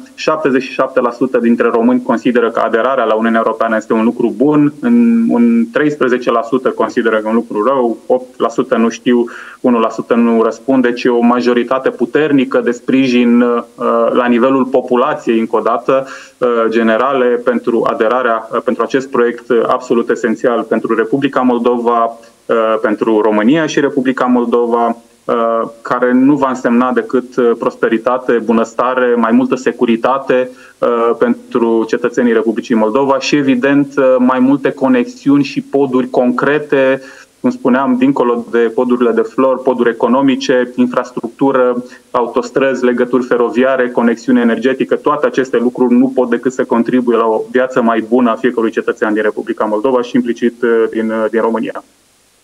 Cu aceasta mi-aș permite să închei prezentarea. Îmi pare rău că nu s-au putut vedea graficile, dar sper că am reușit să traduc uh, uh, cât de cât uh, cifrele și să fie, să fie înțelese și evident cu toată deschiderea la orice, orice întrebări ați avea și aștept cu drag să ne vedem la București. Mulțumim, Remu Ștefureac. Te-am auzit bine, a fost destul de clar. Așa cum spui, ne revedem la București pentru astăzi îți mulțumim pentru prezență și pentru uh, analiza și explicațiile oferite. Uh, mergem acum uh, mai departe și o să invit pe uh, trei antreprenori să vină alături de noi, aici în prezidiu, uh, pe doamna uh, Lazu, pe domnul uh, Luca și pe domnul uh, Nistorică. Și uh, știți cum se spune, vă rog, luați un loc, imediat începem și acest panel. Uh, de obicei se spune că ziariștii, după un astfel de barometru, fac un fel de portret robot al uh, antreprenorilor. Uh, e un termen sigur preluat din altă zonă, dar dincolo de portretul robot, care totdeauna este util, cel mai bine e să vedem portretul fizic, să zicem, și portretul real. Și de aceea ne-am gândit să avem, să aducem alături de dumneavoastră Uh, trei antreprenori uh, și să discutăm cu dânsii despre cum văd uh, nu doar rezultatele barometrului, ci ceea, cum văd nu, ceea ce se întâmplă în economie și cum văd și viitorul până la urmă, pentru că iată vorbim și despre viitor. Și atunci, Carpe diem este o vinărie mică, se spune, nu știu dacă e mică, mică față de cele mari, nu? Din Republica Moldova, din orășelul Cricova, Uh, exportă deja 12.000 de sticle de diverse vinuri. Uh, cât? Luați un microfon, 80. Uh, sper să funcționeze, da? 80 de mii de sticle de... Iată, deci de, nu știam de 12 mii, cu atât mai mult. 80 de mii de vinuri sunt exportate. Aici scrie că cea mai, cel mai popular este vinul Viorica, spune că în România, dar probabil că și în, nu doar acolo. Pentru România e, ar fi Viorica da, cel pentru mai popular. România, da. Uh, și uh, este un soi 100% creat, născut și gândit în uh, Republica Moldova. Uh, vom discuta cu, și despre negocierile privind dimensiunea din viticultură. Este alături de noi domnul Ion Luca, uh, Industria Vinicolă, Carpe Diem, Casa Vinicolă, Luca SRL, da? Bună ziua! Da, Bună ziua! Exact. Bun, de la vin e un brand foarte drăguț, se numește Bombonici, nu? Este, este o fabrică de articole pentru copii din raionul Basarabeasca. Acolo lucrează 137 de oameni sau 140, doamna Lazu, așa vorbeam mai, mai devreme. Da, 140, 140 bun. Activi. Activi se scrie aici în prezentare că 70% sunt din satul respectiv, sau 100%, nu contează. 80%. 80% din, sunt din satul respectiv și uh, deja compania exportă în uh, Uniunea Europeană și deține mai multe magazine de brand în uh, Italia. O să ne vorbiți despre acest lucru. Uh, este alături de noi și o prezint acum uh, doamna Silvia Lazu, uh, Bombonici, uh, se numește compania, da? Vă salut, bună ziua! Mulțumim. Uh, și uh, Brutăria Bardar este o afacere de familie înființată în uh, octombrie 2000 la 15 km de Chișinău. Exportă cam de 3 ani, nu? undeva acolo. În prezent, compania are circa 100 de branduri de panificație și patiserie, corect? 100 de branduri, aici scrie denumiri de produse. Denumiri sau? de produse, mai Denumiri de produse, bun. Și uh, unele dintre ele sunt cunoscute și peste hotare, spuneați. Așadar, compania exportă în România, Germania și în alte țări. Domnul Victor Nistorică, Industria Alimentară, Brutăria Bardar, da? Bună ziua! Bună ziua! Să văd dacă...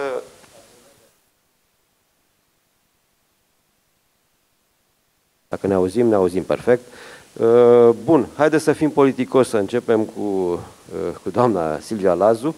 Și sigur că prima întrebare pe care și o să fie o, o temă comună, o să vă rog, este aceea legată de cum vedeți compania dumneavoastră în, în ideea, în, mă rog, în contextul integrării europene.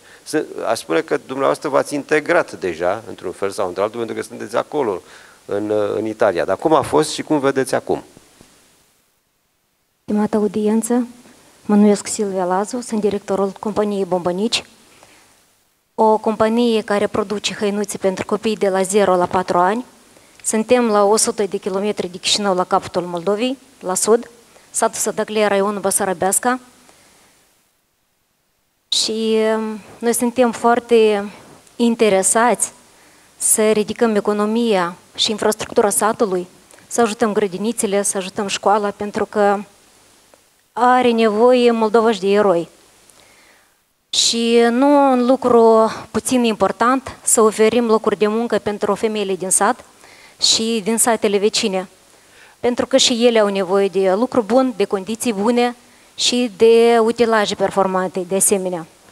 Aici vă întrerup o secundă, mi-a plăcut ideea. Deci Moldova are nevoie și de eroi, spuneți? Considerați că antreprenorii sunt un fel de eroi?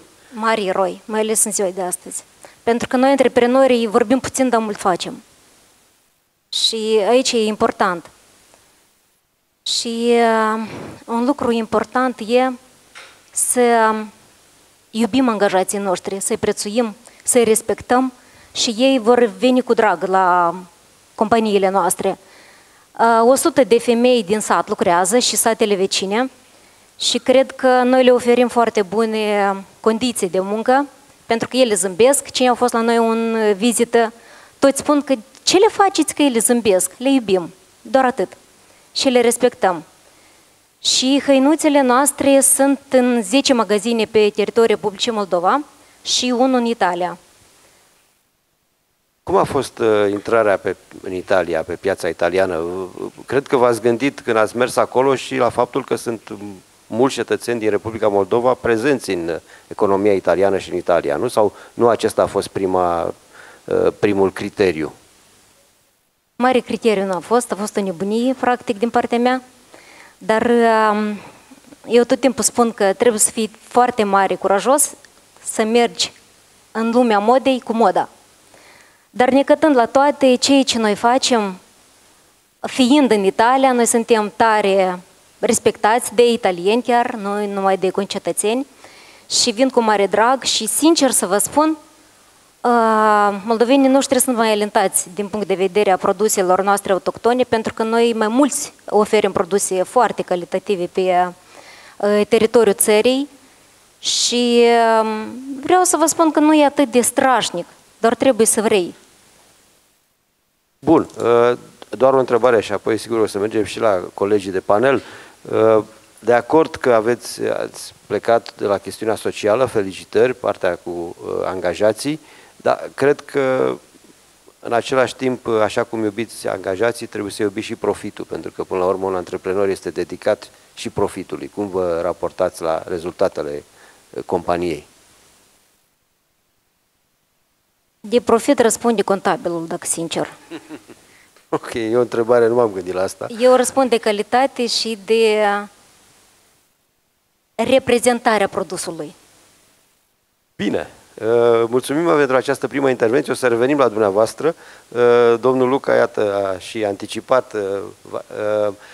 Până la urmă plecăm tot de, de aici, de unde a plecat doamna Lazu. Spuneți-ne în câteva cuvinte cum a fost dezvoltarea companiei și ajungem, o să vă rog, și la partea de integrare europeană. Ne interesează cum vedeți dumneavoastră o piață comună, dacă vă tentează sau dacă, vă și, dacă vedeți oportunități sau și pericole. Doar oportunități ca să fiu mult Direct. mai rapid în răspunsul meu, vin dintr-un sector, să spunem, clasic pentru Republica Moldova. Ori Moldova este cunoscută ca o națiune vinicolă. Dar există o particularitate a sectorului vinicol în Republica Moldova și anume faptul că noi nu avem altă șansă decât să exportăm. Îmi producem mult mai mult vin în Republica Moldova decât am putea vinde aici, acasă. De ce orice afacere, mică, mare, din start, la prima sticlă de vin, deja ne orientăm produsele pentru export. Deci o piață prea mică aici, pe care trebuie să o extindeți în altă Absolut parte. corect. Uh, suntem o piață enorm de mică, până la 3 milioane, mai mult ca atât. Mai fiecare familie din Republica Moldova are această tradiție să producă un vin acasă pe care îl va consuma pe parcursul anului, respectiv consumul de vin îmbuteleat în Republica Moldova este minim. Și nu are importanță, mic, întreprindere de familie sau mare, toți suntem orientați la export. Peste 85%... Facem doar, scuzați-mă și vă, vă, vă rog să continuați. Fac doar o paranteză. Vorbeam zile trecute cu un uh, antreprenor care are un uh, magazin, mă rog, de retail, așa, un magazin mai mare, comercial în, în Focșani. Focșani este, în România, știți bine, o zonă foarte viticolă, așa, și eu l-am întrebat la un moment dat, domnule, cam cât vin vinzi în magazin? Mă rog, printre altele. Și el mi-a zis, domnule, aproape nimic, acolo toată lumea revin. Cam așa îmi spune și domnul Exact, Luca. exact. Deci peste 85% din vinurile Republicii Moldova sunt exportate. Bun. Și acum intervine întrebarea, în ce direcție? Ori tradițional aveam o piață mare, Federația Rusă, unde se vindeau multe vinuri din Republica Moldova, dar aceste timpuri au trecut, am trecut prin niște lecții foarte dureroase. Ori în 2006 am avut un embargo, în 2013 acest embargo s-a repetat, și noi spunem în sector că aceste două lovituri ne-au schimbat radical și ne-au făcut să ne gândim complet diferit, ne-au făcut să ne reinventăm și să căutăm noi piețe de desfacere. Ceea ce ne place și ce ne dorim de la procesul de integrare a Republicii Moldova este stabilitate, predictibilitate. Ori am văzut că pe piețele din Est ne lipsește exact această, stabilitate. În 2006 a fost o catastrofă pentru sectorul vinicol. Și nu atât embargoul impus de Federația Rusă, cât faptul că marfa deja livrată nu a mai fost niciodată plătită. Ori un furt la nivel de țară. Este exact ceea ce nu vom avea niciodată în Uniunea Europeană pentru că ne așteptăm la condiții predictibile, stabilitate, relații comerciale corecte și este ceea care ne dă încrederea în ziua de mâine. Am văzut că piețele din Est că nu acel 2006 a fost un rău, dar de fapt un bine, nu? Absolut corect. Este un rău care ne-a făcut să ne regândim, reinventăm și respectiv să ne reorientăm și exporturile noastre. Pentru noi, vinificatorii, vorbesc din perspectiva vinificatorilor, apartenența la piața europeană nu este da sau nu, este cât de repede va veni această etapă. Pentru că vorbim în primul rând, cum am spus, stabilitate și atunci și noi putem să ne dezvoltăm când știm că nu vom depinde de factori externi, dacă vom avea, vom avea un produs calitativ, vom putea convinge consumatorul, nu vor apărea, apărea aceste impedimente externe care să ne poată ruina afacerea. După care, infrastructură. Vrem sau nu vrem, produsele noastre trebuie transportate, trebuie transportate la prețuri accesibile, ori astăzi suntem cumva la margine, la o margine de, de tot, de, de, de autostrăzi, de um, infrastructură rutieră, nu avem porturi perfect funcționale și pentru a dezvolta o afacere internațională nu, nu o poți dezvolta fără infrastructură. Eu mă bucur că produsele companiei noastre astăzi se regăsesc pe 14 piețe, inclusiv Japonia, Coreea de Sud, care astăzi sunt și piețele noastre cele mai importante, ori faptul cum produsul meu ajunge de la Chișinău în Seul depinde foarte mult și importatorul meu și-ar dori mai multe produse de ale mele dacă nu ar fi foarte multe bariere la mijloc și iată de ce, încă un motiv de ce ne dorim Uniunea Europeană pentru o infrastructură dezvoltată care va face ca produsul nostru, bun sau rău, deja depinde de consumator, dar să aibă o cale mai ușoară spre consumatorul final. Mulțumesc! Uh, imediat o să revenim și la dumneavoastră. Vreau să vă spun din nou că totuși cele mai bune întrebări sunt, nu sunt ale, ale moderatorului, ci ale sălii și atunci o să vă aștept, uh, după ce îl ascultăm și pe domnul Nistorică, dacă doriți să adresați întrebări antreprenorilor, uh, cu mare plăcere le, le, le luăm.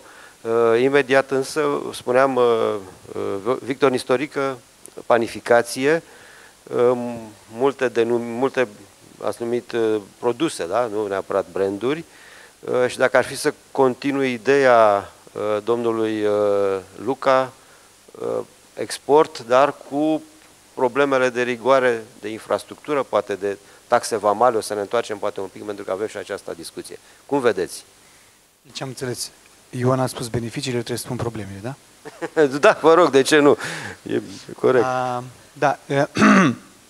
Noi la fel ne-am început parcursul de export mai recent, acum 2-3 ani, după mai multe probe și cam uh, impedimentele majore care au apărut și în barometru, acolo legate de standardizare, legate de conformitate și de alte aspecte, le-am cam trecut, ne-am cam ciocnit. Da, n-am avut un manual în care să le citim și să vedem cum să ne pregătim de ele, respectiv cu costuri mai mari sau mai mici de bani, dar mai mult de timp, uh, uh, credem că le-am depășit. Și de asta ce credem că este important uh, să spunem, dacă toți suntem aici în calitate de eroi sau pionieri sau, sau uh, ilustrații de portret, este că da, uh, este foarte important, deci clar este o piață mare, clar uh, potențial mare, clar în multe industrii, mai ales în zona alimentară, potențialul de producere este mult mai mare decât ce putem consuma aici. Deci trebuie să mergem afară, facem produse gustoase, trebuie să le facem și corect, și de asta partea de standardizare, un minim ISO sau mai multe nivel de standard este foarte important. Adică dacă Ion a zis că la prima sticlă trebuie să te gândești cum să mergi în afară, gândește la prima sticlă cum o faci așa ca să te primească în, în afară, în Europeană. Și nu doar. Și apropo adică... de standarde, domnule Nistorică, ați reușit sau sunteți în curs sau ați făcut deja o, o ați implementat anumite standarde în, N-am putut să ieșim altfel. Eu am mai povestit istoria când am fost sunați de Lidl să mergem să exportăm în România și pe urmă în alte țări și când s-a pus o serie de întrebări, prima fiind standardul, am zis că mai avem nevoie de timp. De asta am dat un pas înapoi și țin de a exporta direct, ne-am pregătit, am studiat ce trebuie făcut, da, avem ISO 2022.000 care deja trebuie să-l înnoim, deci l-am făcut ceva timp, și este cartea de vizită, de când mergi și prezinți ceva, mai ales că deseori înaintea mostrelor ajung actele despre produse, prezentarea, catalogul companiei și certificările pe care le ai. S-ar putea că neavând anumite certificări acolo, nici nu mai este cazul să trimiți mostre sau oferte de preț. Adică noi credem în asta, am făcut-o și... Cred că aceste, acesta cred că este un mesaj important pentru toți antreprenorii, spune indiferent din Republica Moldova și din România, cred că trebuie să știe acest, acest lucru. Uh, bun, vă rog, v-am întrebat. Da, deci am făcut o conformitate internațională care ne-a ajutat și național, pentru că am vorbit de frica de controle sau altceva, în momentul când tu ai certificările făcute, cel puțin pe partea de siguranță alimentară, atunci tu știi că poți fi sigur. Uh, mai mult decât atât, trebuie ținut cont de specificul pieții, iar și noi ne-am făcut ISO 22.000, știam că suntem faini, când ne-am dus să exportăm în Germania, ne-au mai venit vreo șase pagini de cerințe în diferite aspecte, care iarăși puteam să renunțăm sau nu, și nu am renunțat și am reușit să accedem o piață pe care vindem la prețuri mult mai bune decât vindem în Moldova sau în țările învecinate, pentru că este o piață cu potențial mai mare, cu putere de cumpărare mai mare. Da, ne costa jumătate de ani să ne facem și acolo uh, actele și să facem analize care nu se fac în Moldova, dar după asta știm că iarăși produsul este conform și astăzi putem trimite o ofertă și mostre în oricare țară a Uniunii Europene, trecând deja aceste bariere. Aici poate o întrebare se impune. Uh, reușiți să mergeți cu produsele prin, cu ajutorul sau prin intermediul acelui retailer despre care, despre care ați vorbit, și anume Lidl, sau aveți și un export, să-l numesc, propriu? Uh, lucrăm cu diferiți parteneri. De exemplu, uh, pentru cazul Germania am accesat da, o platformă internațională Monolit care are distribuție în, nu știu, 15-17 țări ale Uniunii Europene. Adică accesându-i pe ei, noi ne-am pămit că știam că exportăm doar pentru Germania, dar uh, am primit poziție cu produsele noastre din Austria și Franța. Pentru că ei deja au lucrurile puse la punct. Uh, în Franța lucrăm cu un retailer direct, cu un retailer care are la fel magazinele sale proprii, dar care face și distribuție. Adică sunt diferite modele și trebuie să fim deschiși pentru diferite modele și să le înțelegem specific cum funcționează și logistic și comercial. Bun, uh, spuneam că dacă sunt întrebări din uh, sală, iată, doamna Volintiru, vă rog. Da, da, da, nu, de, de-abia, de-abia aștept, este un regal acest panel și vreau să vă felicit din, din tot sufletul și pentru cei care au selectat participarea dumneavoastră aici, pentru că sunteți atât de, de diferiți ca studii de caz. În, în mod cert îmi amintesc de, de referința pe care ați făcut-o la, la 2006, domnule Luca, și mi-amintesc exact, făceam și o referire mai devreme la discuțiile pe care le aveam cu studenții și exact la această comutare a pieței de export pe care sectorul viticol la uh, mini vinicol l-a făcut. Și întrebarea mea pentru dumneavoastră, pentru că menționați accesul, iată, în sub 10 ani, accesul la niște piețe atât de îndepărtate, deci un model de competitivitate extern fabulos. Um, și chiar aveam o discuție cu ambasadorul Coreei de Sud în România despre tipul de produse și integrarea regională, oportunitățile de colaborare. Și atunci, întrebarea la care vreau să ajung către dumneavoastră, ce poate face România sau parteneri din România România, mai mult pentru dumneavoastră ca să aveți acest tip de expunere uh, globală până la urmă. Uh, și cum, partea a doua întrebării, uh, să fie win-win situation, adică în lanțurile de producție regionale să mergeți împreună și nu uh, într-o competiție unii față de alții. Poate că deja ați și dat răspuns la una din întrebare, pentru că vom merge împreună. Una din, problemele, una din problemele noastre mari la moment când dorim să ne exportăm producție este că, din păcate, lumea nu cunoaște despre Republica Moldova și despre produsele Republicii Moldova, în cazul meu vorbesc despre vinuri. Nu, e vină, nu, nu este vina lor. 30 de ani în urmă, 33 de ani în urmă, țara noastră nici nu exista. Mulți din consumatorii vinurilor noastre din Coreea de Sud sau Japonia nu cunosc despre existența Republicii Moldova, deci producția noastră nu are o identitate cum au vinurile din Franța, Italia, Spania și așa mai departe. Astăzi noi suntem o țară nouă, pentru, vorbim iarăși de țările îndepărtate, și nu prea avem o identitate. Moldova, o țară undeva între Ucraina și uh, România, dar despre care nimeni nu știe. Atunci când vom fi membri Uniunii Europene, măcar putem spune că suntem parte a marii familii europene și aici suntem mai mulți, aici suntem România, Italia, Franța, deja le este clar, coreanul, aha, din ce parte a lumii vii. Asta cred că ne va ajuta foarte mult să ne exportăm producție, pentru că astăzi identitatea producției noastre este cumva prea puțin cunoscută. Cum ne mai poate ajuta România? E simplu, deja ne ajută. Mulți spun că, păi de ce vă trebuie piața europeană? Sunt atât de mulți producători în Uniunea Europeană și așa și este. Franța, Italia, Spania sunt țările cele mai mari producătoare de vin. Dar statistica de astăzi arată că vinurile cele mai multe sunt cumpărate astăzi de România. O piață mare pentru noi, o piață unde ne este relativ ușor, vorbim aceeași limbă, românii știu despre vinurile noastre bune și o piață mare. Noi suntem 3 milioane, max. În România ceva mai mult. Se consumă mult vin românesc, dar fiecare a patra sticlă consumată azi în România este o sticlă din Republica Moldova. Tot așa reușim să ne vindem producția noastră și în alte țări europene. Polonia este numărul 2. Deci sunt și țări în Uniunea Europeană care nu au vinuri proprii și care consumă constant vinuri de import.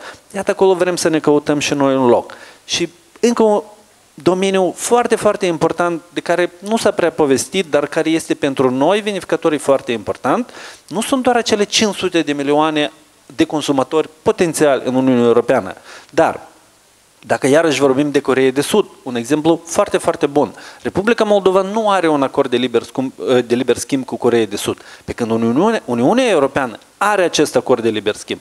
Eu personal la multe târguri internaționale am avut situația unde începeam o discuție cu un potențial distribuitor sau importator și când ajungea la ideea, da, este un pic, da, țara ta are cu țara mea semnat un acord de liber schimb? Nu. Ok, sorry, revin la tine când veți avea. Pentru că, uite, acolo alături sunt producători din Italia, Franța, Spania, Germania și așa mai departe, țări mult mai cunoscute cu care noi azi deja avem semnat un acord de liber schimb. Ori doar trei țări pe care astăzi mă interesează foarte mult, Canada, Japonia, Coreea de Sud, toate au acorduri de liber schimb cu Uniunea Europeană care imediat ce vom deveni membri plus încă 200 de milioane de potențiali consumatori care se vor uita altfel la produsele noastre. Ori noi, ca stat, nu cred că vom reuși de grabă să avem acord de liber schimb cu toate aceste țări și doar acest un fapt ne permite accesul spre piețe cu putere de cumpărare mare și unde produsele noastre se vor bucura de acest acord de liber schimb. Mulțumesc. Mai aveți o întrebare? Vă rog. Da, da și eu la întrebarea care ați dat-o dumneavoastră, că este importantă. Noi avem cu totul alte probleme. Noi, industria textilă, suntem uitați de toți și de, de toată lumea și de uh, tot guvernul nostru, uh, dar ne îmbrăcăm toți frumos și ne place și suntem bucuroși că avem companii cu uh, cu brand propriu și suntem bucuroși că avem valoare adăugată, dar industria textilă are o problemă cu mult mai globală. Noi avem o problemă foarte mare cu gestionarea deșeurilor, pentru că noi, practic, soluții sunt inexistente pentru deșeurile textile. Asta e o problemă foarte gravă în țara noastră. Și altă problemă și mai gravă este că noi trebuie să ne învățăm de la români să primim ceva traininguri, școlarizări, cum să promovăm produsul nostru fabricat în Moldova, pentru că noi știm a face lucruri bune, dar nu știm a prezenta. Știm a munci, dar nu știm a vorbi. La noi e o, e o dilemă.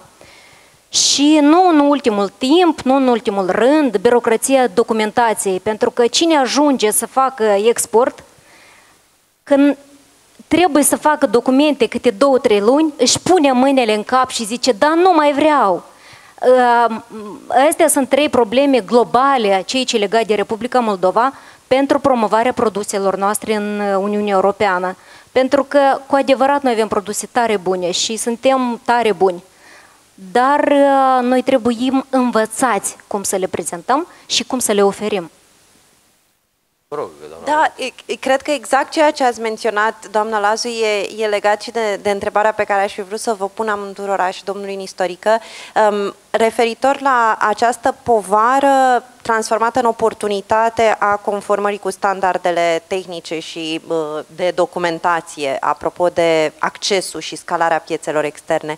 Și aici e interesant pentru că noi în Uniunea Europeană vedem efectul Bruxellesului, anul Bradford, da?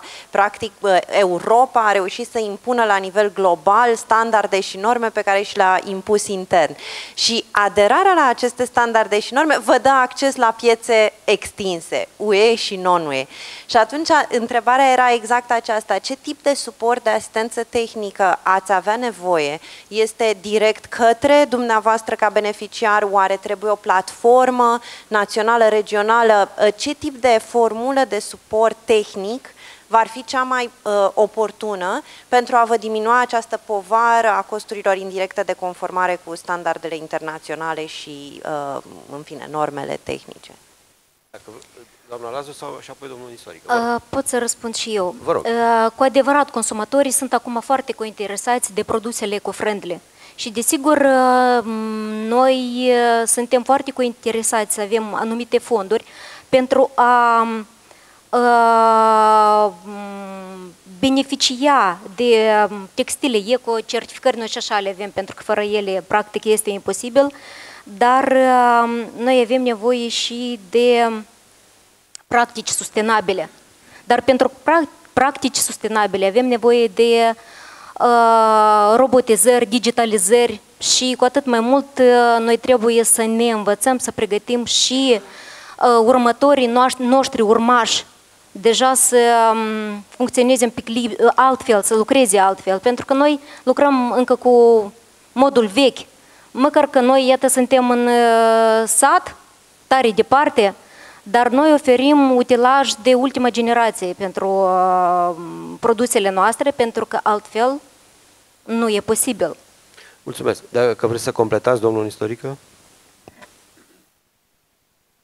Eu cred că niște lucruri deja se întâmplă aici în țară, pentru că sunt uh, tot fel de programe, granturi pentru a accesa certificările, adică noi așa ne le-am făcut și simt că sunt valabile, mai ales în, în cadrul programelor de suport a uh, exportului, deci vedem acest lucru și este. Și piața o văd pregătită. Uh, da, noi am simțit alinierea cu România pentru că, de exemplu, chiar și ne-am făcut standardul ISO de care am tot vorbit, consultanța am primit-o local, dar certificarea a venit printr-un organ din România. Pentru că în Moldova încă nu găsisem cineva care să ne certifice. Acum la această recertificare vedem o, o altă companie, dar la fiere din România. Ce este bun? Am zis, nu sunt diferențe de limbă, deci este ușor, găsim documentația gata făcută, cum va fi și în cadrul aderării sau procesul de preaderare garantat. Deci sunt niște lucruri gata traduse, făcute și asta este mult mai ușor. Ce, unde este loc de ajutat și noi am simțit asta este, cel puțin demarând primele exporturi cu România, chiar dacă poate nu era totul perfect, am avut parte de o anumită doză de toleranță din partea partenerilor, care ne-au zis, de exemplu, primul lot de produse, da, e ok, dar uitați, pentru viitor schimbați la ambalaj câteva chestii, de exemplu. Dar a fost cumva tolerant și pe loturi mici. Deci se poate testa. Noi chiar am făcut asta. Deci testam orice vreți să facem. Vă dau un alt exemplu, nu știu. S-a permis exportul de produse cu, origine, de, cu ingrediente de origine animală, brânză lapte am făcut un prim export de test în România câteva baxuri. Ca după care să folosim acest precedent cu oricine în Uniunea Europeană, da, uite, produsele noastre au trecut. Deci, sunt mai multe filiere, mai multe canale care pot fi folosite cu distanță scurtă, cu costuri mici, cu riscuri mici. Adică chiar dacă nu merge și ratezi, ai ratat pe un volum mic. Și aici, aici cred. După care acest share and reapply, adică cazurile care au mers bine, ca, succes, istoriile de succes, de succes să fie împărtășite. Și acest lucru îl văd benefic. Mulțumesc. Dacă mai aveți o completare, doamna Volintiru, dacă nu... Dacă îmi permiteți, tot rog, aici, cu ce ar putea România să ne fie de ajutor, urmează o perioadă complicată pentru Republica Moldova, care de asta și se numește negociere. Ori România are o experiență de negociere în acest proces foarte proaspătă. Ceva le-a reușit colegilor din România, ceva deja știu că ar fi fost mai bine dacă făceam așa.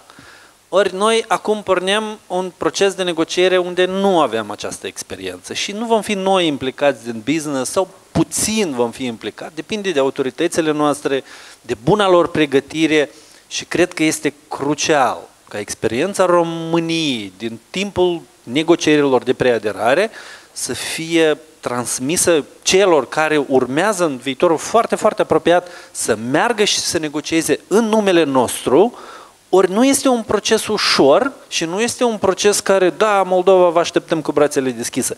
Este o negociere și se va negocia dacă vom fi bine pregătiți, vom veni cu argumente și eu vorbesc despre agricultură, unde sunt foarte, foarte, foarte multe divergențe și noi trebuie să mergem bine pregătiți, noi ca țară.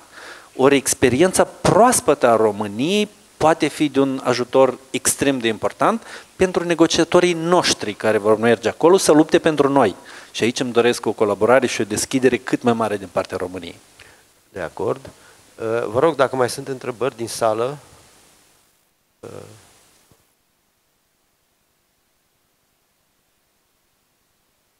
Mulțumesc. Întrebarea mea este diaspora. Dacă dragii noștri vorbitori, producători, văd diaspora ca și un canal de penetrare a piețelor, inclusiv diaspora din România, din Republica Moldova, și dacă vedeți ca și un canal pentru a vă dezvolta afacerile și mă refer inclusiv la ceea ce am auzit la domnul Rednischi, doamna Silvia Lazu, cu experiența în Italia, dacă nu greșesc, povestiți un pic mai multe, că nu știm foarte multe detalii. Mulțumesc! Noi în Italia avem magazinul nostru. Uh, nu suntem pe marketplace sau în alte părți. Uh, avem angajații noștri și așa mai departe. Și noi le oferim uh, foarte frumos produsul nostru cum noi vrem. Adică nu sunt în cazul ăsta probleme, dar cred că 20-25 de procente sunt diaspora. În România, în acest moment, aveți magazine? Uh, nu, în România nu, în Italia. De ce nu? De Italia vorbesc. Urmează. Ok. Mulțumesc. Și colegii, dacă tot pot să comenteze. Da, da, sigur. Dacă să vorbim de diaspora, noi chiar avem o regulă. Nu ne orientăm doar pe diaspora Republicii Moldova. Dacă vreau să-mi vând produsul meu în Germania, nu mi orientez produsul meu pentru diaspora Moldovei, destul de numeroasă, în Germania, ci fac produsul meu în așa fel sau politica mea de comunicare ca să conving pe toți locuitorii Germaniei, nu doar diaspora. S-au încercat, uh, s-a încercat de numărate ori de a utiliza diaspora ca ambasadori a produselor noastre. Și aici ne sunt chiar foarte utili. Dar cu produsele noastre vrem să convingem consumatorul local și credem că diaspora noastră face parte din acest grup mai mare, dar nu ne orientăm eforturile doar pentru diaspora noastră. Am să explic doar un scurt contextul, pentru că diaspora are o putere financiară importantă și antreprenorială și anul ăsta chiar am instruit uh, oameni din diaspora din Statele Unite care au afaceri acolo și își doresc mai multe produse din Republica Moldova și sunt gata să studieze potențialul acestor piețe. De-aia am dat întrebarea, adică nu ca consumator, dar și consumatori, dar și uh, antreprenori care înțeleg produsele, le iubesc, le îndrăgesc și vor să le facă cunoscute și pentru non-diaspora, să spunem așa. Mulțumesc. Doar că am răspuns, eu am avut trei experiențe unde conaționali de noștri au vrut, foarte tare au vrut să vândă vinuri moldovenești în țările în care erau. La nimeni nu le-a reușit. Din diverse motive și chiar își doreau foarte mult, dar lucru cu niște distribuitori ancorați, locali, mult mai bine ancorați, întotdeauna ne reușește mult mai bine. Dorința conaționalilor noștri de vin de vin moldovenesc, din păcate, nu întotdeauna dă rezultate bune. Uh, da, nu, eu uh, doar un exemplu vă dau în România și cred că activează și aici. Este o asociație numită Repatriot care folosește, mă rog, care lucrează cu diaspora odată pentru a-i aduce în țară pe antreprenori, a doua oră pentru a-i face, să zicem, mici ambasadori, adică nu așa, fiecare din vorbă în vorbă să spună despre vinul sau despre patiseria sau despre textilele din uh, Moldova. Vrea doamna să adreseze o întrebare. Vă.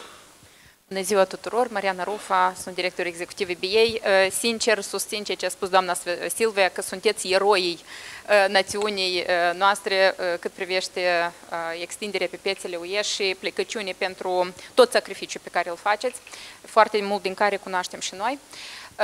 Dincolo de toate eforturile guvernului, pentru că înțelegem că se fac niște eforturi, ceea ce încercăm noi acum ca asociație să lobăm, intenționat reiterez acest cuvânt, este că în contextul politicilor noi, cum ar fi protecția datelor cu caracter personal, cum ar fi uh, toate regulamentele noi care se introduc pe partea de mediu și în politicile de mediu, uh, în tot ce privește digitalizarea și apariția noi, uh, noilor sisteme, inclusiv ce țin de siguranța alimentelor, domnule Nestorică, ce țin de procedurile vamale, uh, sistemul național uh, tranzit, de tranzit, etc. Ele apar pe parcurs.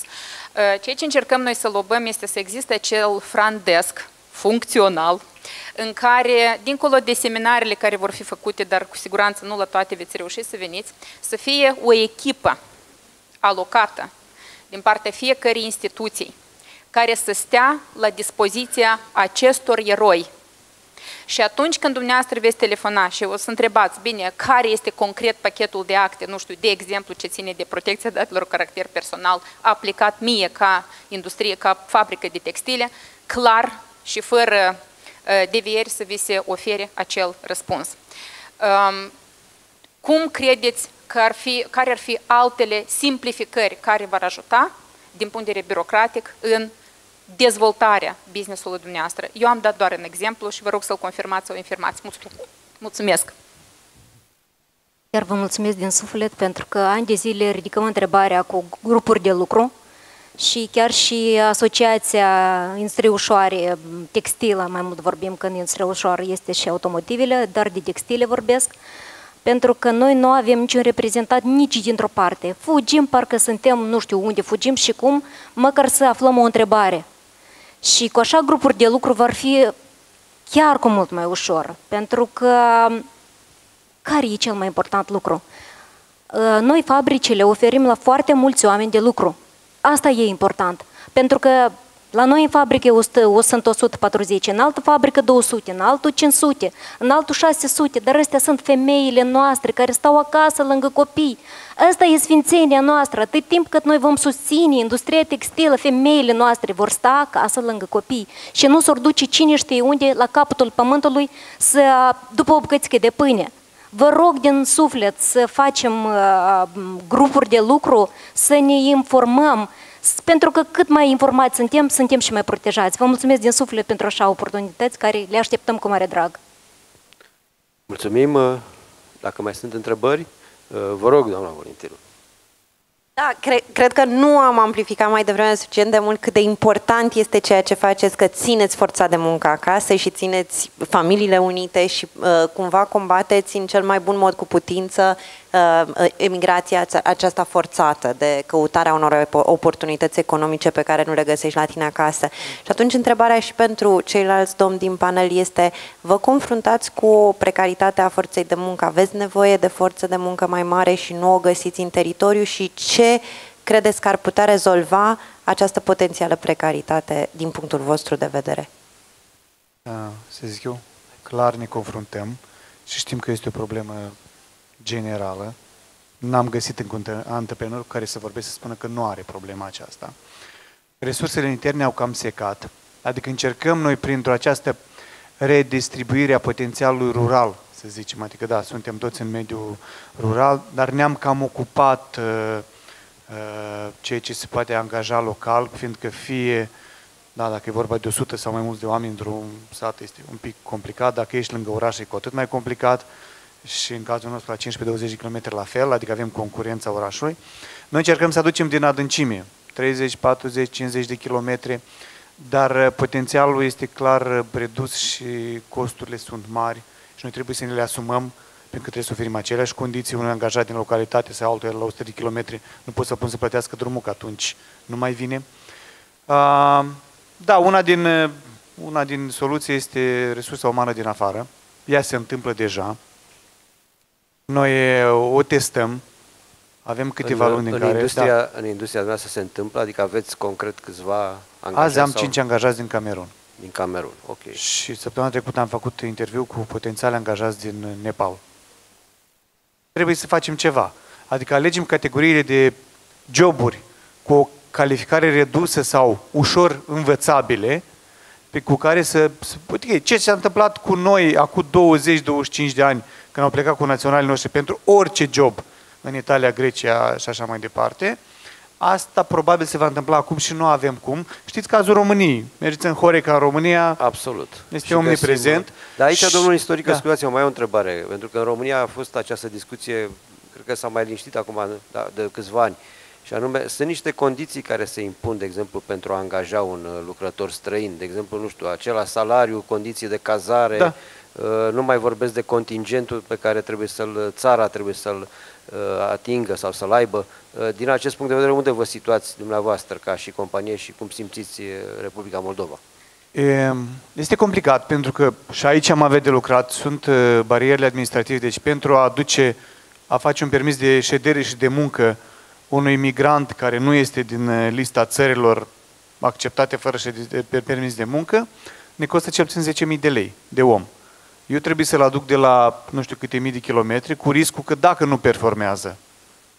Și atunci sau vedem... Mai e un risc, era în România, vine, stă trei zile, o săptămână sau două și luni pleacă și mai departe. pleacă. Da, exact, duce... este și așa fenomen, știm, iarăși nu știm cum ne vom păzi de asta, dar credeți-ne, pe alocuri întreprindem anumite măsuri un pic disperate, dar încercăm să testăm, adică încercăm să ne punem aceste costuri, să le împărțim cu ei, să vedem tot fel de soluții prin care să ne creștem. Că altfel, noi vorbim de piețe, 14 piețe, multe piețe, am în telefon azi 5 cereri minim de, de produse de export la care mă tem să răspund că nu știu dacă o să fac față cu capacitatea. Credeți-mă. Bun. Domnul Luca? În partea mea, aceleași răspunsuri, da, ne confruntăm cu mari probleme, um, să găsim forță de muncă, încercăm la maxim să automatizăm, să mecanizăm lucrările în vie um, sau în cramă, dar nu vom putea continua dacă nu găsim o soluție pentru această problemă care devine tot mai critică și eu sunt un mare susținător a deschiderii pieței de muncă, um, să spună concurența e bun acel angajat sau nu, sunt absolut de ok cu orice cote care se vor impune sau reguli um, corecte, dar avem nevoie de um, forță de muncă din străinătate pentru că ai noștri au plecat și fac acest lucru afară, acum ne lipsesc nouă și nu pot face față câteodată unor cereri exact cum spune domnul istorică, pentru că nu am forța și forța de muncă să răspund repede la cererile care sunt, de aceea, da, avem nevoie de deschiderea pieței de mun- pieții muncii cu reguli clare, corecte, atât pentru angajați cât și pentru angajatori.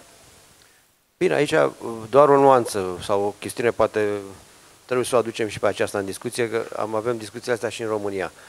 Um, Concret e vorba de, sau direct spus, este vorba despre salariu până la urmă. Uh, se spune și o realitate că, normal, nu puteți concura cu linii mari cu salariile din uh, vest, uh, în cele mai multe cazuri, dar ați avut sau ați realizat o creștere de salarii în companie, să zicem, în ultimii, hai să iau un termen mai larg, 4-5 ani, care să fie mai stimulativ, sau această creștere să fie mai stimulativă pentru angajați să rămână? domnul Luca sau domnul istoric, cum vreți. Doar în anul în care am avut o inflație de 30% nu ne-am permis să facem o creștere salarială cu corespunzătoare cu inflația. În rest, încercăm, desigur, în fiecare an, măcar, măcar atâta, da. Și asta o facem constant de mulți ani deja. Și noi ne străduim în fiecare an, poate chiar și mai, mai devreme de un an, să le ridicăm salariile, dar noi mai întreprindem și diferite programe gândite de-a noastră, deja nu mai știm ce să ne gândim, le achităm grădinițele la lucrătorii noștri din, din cont companiei, pentru că și grădinița poate să funcționeze în sat, pentru că cine poate să achite luna asta, cine nu. Școlile, ne străduim să le ridicăm salariile și noi ne străduim să nu facem diferență din, din salariile din sat și din oraș, adică să Ă, fie omul lăsat fericit ca și cel de la oraș, măcar că cel lăsat are un pic mai puține cheltuieli cu transportul, pentru că la noi vin cu bicicleta la, la fabric și e atât de fain, te uiți și nu-ți vine să crezi. Și clar că ne străduim toți să gândim diferite metode și diferite ecuații matematice și mai puțin matematice, să putem să-i menținem și să, să-i susținem și clar că ei când văd mai ales noi lucrăm cu femeile, la noi e un pic mai complicat, pentru că femeia lucrează acolo unde se simte bine. Poți să-i dai tu milioane, dar dacă nu este respectată și nu are condiții bune, ea nu mai vine la lucru. Ok. Domnul istorică? Câteva... La fel, uh, adică clar încercăm să punem uh, aspectul motivațional în ajustarea salariilor, zicem, dar clar că inflația din ultimii doi ani a cam mâncat și n-am avut cum să nu creștem, că altfel riscam să-i pierdem. Pe de altă parte, ce a spus și doamna Silvia, încercăm cu, cu anumite aspecte de motivare, poate nematerială, exact, de apartenență la companie, de, nu știu, un prânz servit din partea companiei, cheltuieli de transport sau pentru cei care nu sunt în localitate, uh, anumite evenimente, celebrări, adică aceste lucruri care să-l facă pe om, să se, eu tot am 60 de femei la lucru, deci să se facă să se simtă bine la postul de muncă și să, atunci când va primi o ofertă cu 300-500 de lei mai mult, să cântărească alte, alte beneficii decât doar, doar suma salariului. Mulțumesc, doar să sintetizez, sigur că e Mă bucur că, iată, colegii din sală au uh, pus aceste întrebări, mi-au luat așa temele, dar e un lucru bun. Uh, aș trage doar o, o scurtă concluzie și apoi o întrebare foarte cu răspunsuri scurte va juga. Am notat birocrația prea mare, deșeuri, care, deșeuri, problema deșeurilor textile, marketing, e nevoie de mai mult ajutor, apoi, um, eu știu, produse prietenoase cu mediu, eco, cum se spune, Uh, și atunci întrebarea de final pentru fiecare dintre dumneavoastră este următoarea, pentru că urmează un panel cu distinși membri ai guvernului, uh, să vă întrebăm direct totuși ce așteptați de la uh, negocierile care încep și mai ales cum simțiți că vă puteți implica. Sunteți, veți fi ascultați, ce credeți? Vreți să fiți ascultați cu problemele dumneavoastră și care e formula? S-a spus aici despre un grup de lucru, e un, e un pas bun, dar care sunt așteptările dumneavoastră vis-a-vis de relația cu administrația? Uh, vă rog, uh, domnul Luca. Cred că în toți 30 de ani de independență, și asta este părerea mea personală, nu am avut o comunicare atât de constructivă cu guvernul. Chiar mă bucur să pot spune că cu domnul ministru Alaiba suntem de o vârstă, am făcut unele lucruri împreună și oricând are o întrebare, nu o face care, care? prin consilieri, dar mă sună direct și mă întreabă și chiar mă bucur să avem un cuvânt de spus direct. Sper că această deschidere va continua. Noi suntem ferm convinși că procesul de negociere va fi unul greu și suntem gata ori câte ori e nevoie de părerea noastră, implicarea noastră, să contribuim la acest proces, pentru că ei nu au făcut școală cum să facă această negociere să ajungă cu un succes pentru noi. Dacă au nevoie de noi, cu siguranță ne vom implica și sunt încrezător pentru că există acest dialog direct între autoritățile centrale și antreprenori. Vreau doar să continue tot așa. Mulțumesc, doamna Lazu. Eu sunt și mai optimistă. Dacă noi avem deja 17 ani de când activăm și când eram eu mai tineric și mai frumoasă, cred că trebuia să mă închin la ușile guvernului, la ușile fiscului, la ușii nimeni, nimic nu ne spunea, doar se uita urât la noi și ne alunga ca pe niște, nu vreau să vă spun, soțul meu poate să vă spună mai ușor, și că e bărbat și permite. Dar uh, strigam ca disperata să mă primească cineva să-mi spună ce să facem. Acum, bătând în ușă, prin inteligență, prin frumusețe, prin bunătate, noi abia acum suntem ascultați, abia acum suntem numiți eroi, abia acum suntem uh, un pic cu spatele drept și uh, nu-și bate nimeni joc de noi pentru că parcă eram niște robi, nu eram oameni de afaceri. Și uh, eu sunt tare optimistă că noi mergem pe cale dreaptă și suntem pe o cale frumoasă și, uh, sincer să vă spun, când uh, vine, de exemplu, la noi la fabrică, doamna președintă, mai asta, prim-ministru venea la noi, femeile așa sunt mândre, zice, uitați-vă cine vine la noi. Și pentru ei atât de important, pentru că, până la urmă, noi toți suntem sub același cer indiferent cine și ce lucru face. Dacă noi fiecare din noi facem frumos ce aici facem și noi dacă oferim produsul nostru, indiferent care produs, îl oferim din toată inima și cu tot respect față de noi, neapărat avem și foarte frumoase uh, urmări și clar lucru că și așteptări. Mulțumesc pentru cuvintele frumoase și înțelepte. Vă rog. Și ar trebui să încununez acest optimism. Da, dacă reușiți, iasă dacă... Că altfel stric tot. Uh, da, simțim și noi aceste lucruri, da, se întâmplă cu o comunicare foarte bună, da, suntem ascultați și ajutați unde se poate și credem că se poate mai bine. De asta nu ne mai decât să ne dorim nouă tuturor, uh, sună ca un toast așa, uh, clar curaj, fiindcă greutăți sunt, clar să se ține cont de această balanță beneficii și riscuri, că ele vor fi întotdeauna, să avem puteri și noi și autoritățile să se confirme în 20 octombrie acest trend și această dorință tuturor și restul să vorbim peste un an sau doi despre cât de mult mai aproape suntem noi de Uniunea Europeană. Mulțumesc că o să vă invit să-i aplaudați pe cei trei eroi în numele antreprenorilor din Republica Moldova până la urmă. Vă mulțumim! Mergem mai departe. Vă mulțumim încă o dată pentru prezență și pentru uh, cele spuse.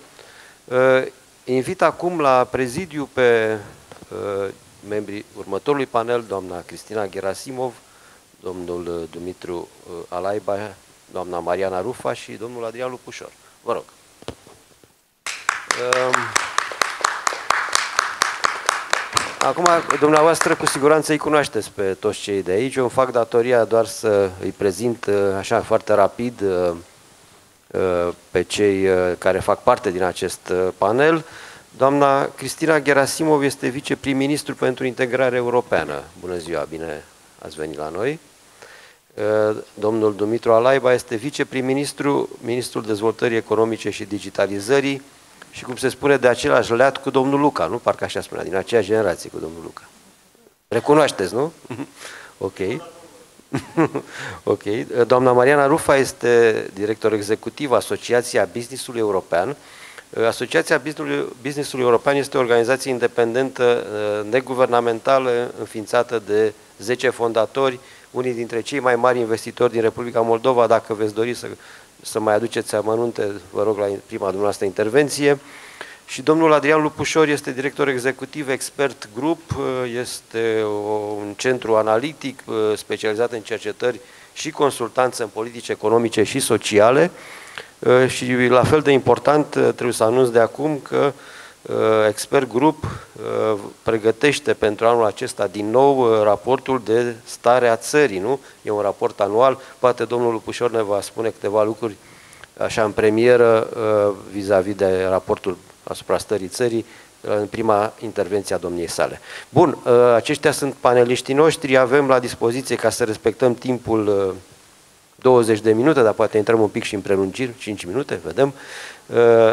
O să o invit mai întâi de toate pe doamna uh, Gerasimov să ne vorbească de fapt despre unde suntem acum cu procesul de integrare. A început, n-a început, uh, ce se întâmplă, ca să știm de unde plecăm. Vă rog.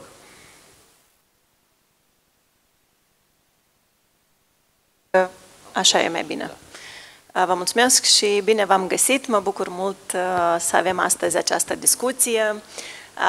Chiar sâmbătă aceasta am revenit de la Bruxelles unde am continuat cu screening-ul bilateral. Eu sper că deja toată lumea probabil cunoaște acest cuvânt. Este vorba despre analiza legislației noastre naționale prin prisma legislației comunitare și scuze, discutăm... Scuze doar o secundă, vrând nevrând o să trebuiască să învățați limbajul acela de Bruxelles, dar asta e viața, vă rog, de screening-ul, cum ați spus, nu? Da, eu cred că o să urmăm și noi calea altor state candidate care au început de la zero cu un nou vocabular de Bruxelles, dar cu timpul îl vom, ne vom familiariza și noi mai mult. Deci ce am făcut săptămâna trecută la Bruxelles a fost să ne prezentăm ca țară, unde suntem pe trei capitole ce țin de valorile fundamentale. Aceasta este o etapă din procesul de negociere, așa numitul screening uh, bilateral.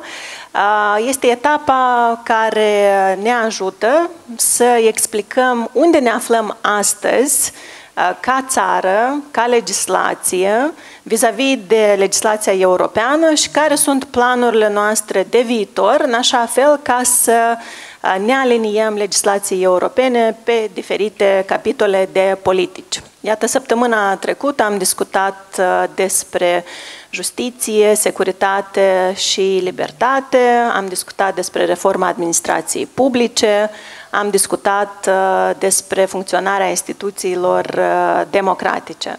Deci suntem în plin proces tehnic și vreau să subliniez încă o dată că suntem într-un proces complex tehnic, pentru că asta este baza negocierilor propriu-zise, care noi intenționăm să le putem uh, deja deschide uh, anul viitor, în prima jumătate al anului viitor.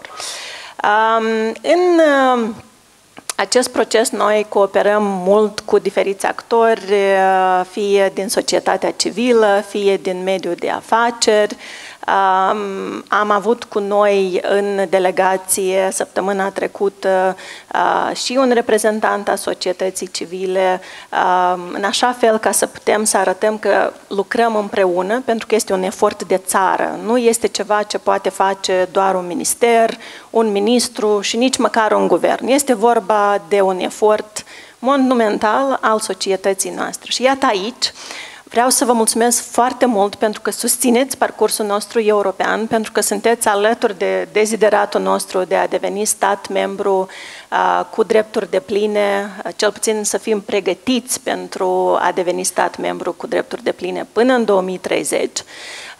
Noi avem cu dumneavoastră o platformă, până când doar o platformă de discuție, cea a Consiliului Economic pe lângă, prim, pe lângă oficiul prim-ministrului, dar pe timp ce avansăm cu, în procesul de negociere, vreau să vă invit pe toți ca să discutăm și pe mai multe platforme decât atât.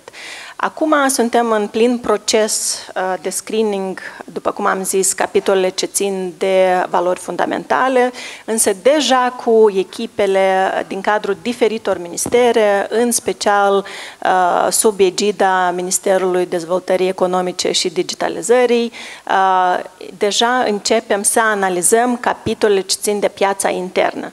Păi uite aici echipele coordonate de către domnul ministru Alaiba lucrează intens deja la, la, la primele analize și vă invit pe toți ca să ne ajutați în acest proces. Este foarte important deja de pe acum să începem să facem acele analize de impact, să estimăm acele costuri de implementare a legislației europene pe care le vom suporta ca economie. Eu zic că astea sunt investiții în economia noastră ca să devenim mai competitivi, în așa fel ca în momentul aderării să putem să putem Uh, să ne valorificăm potențialul nostru economic la, la maxim.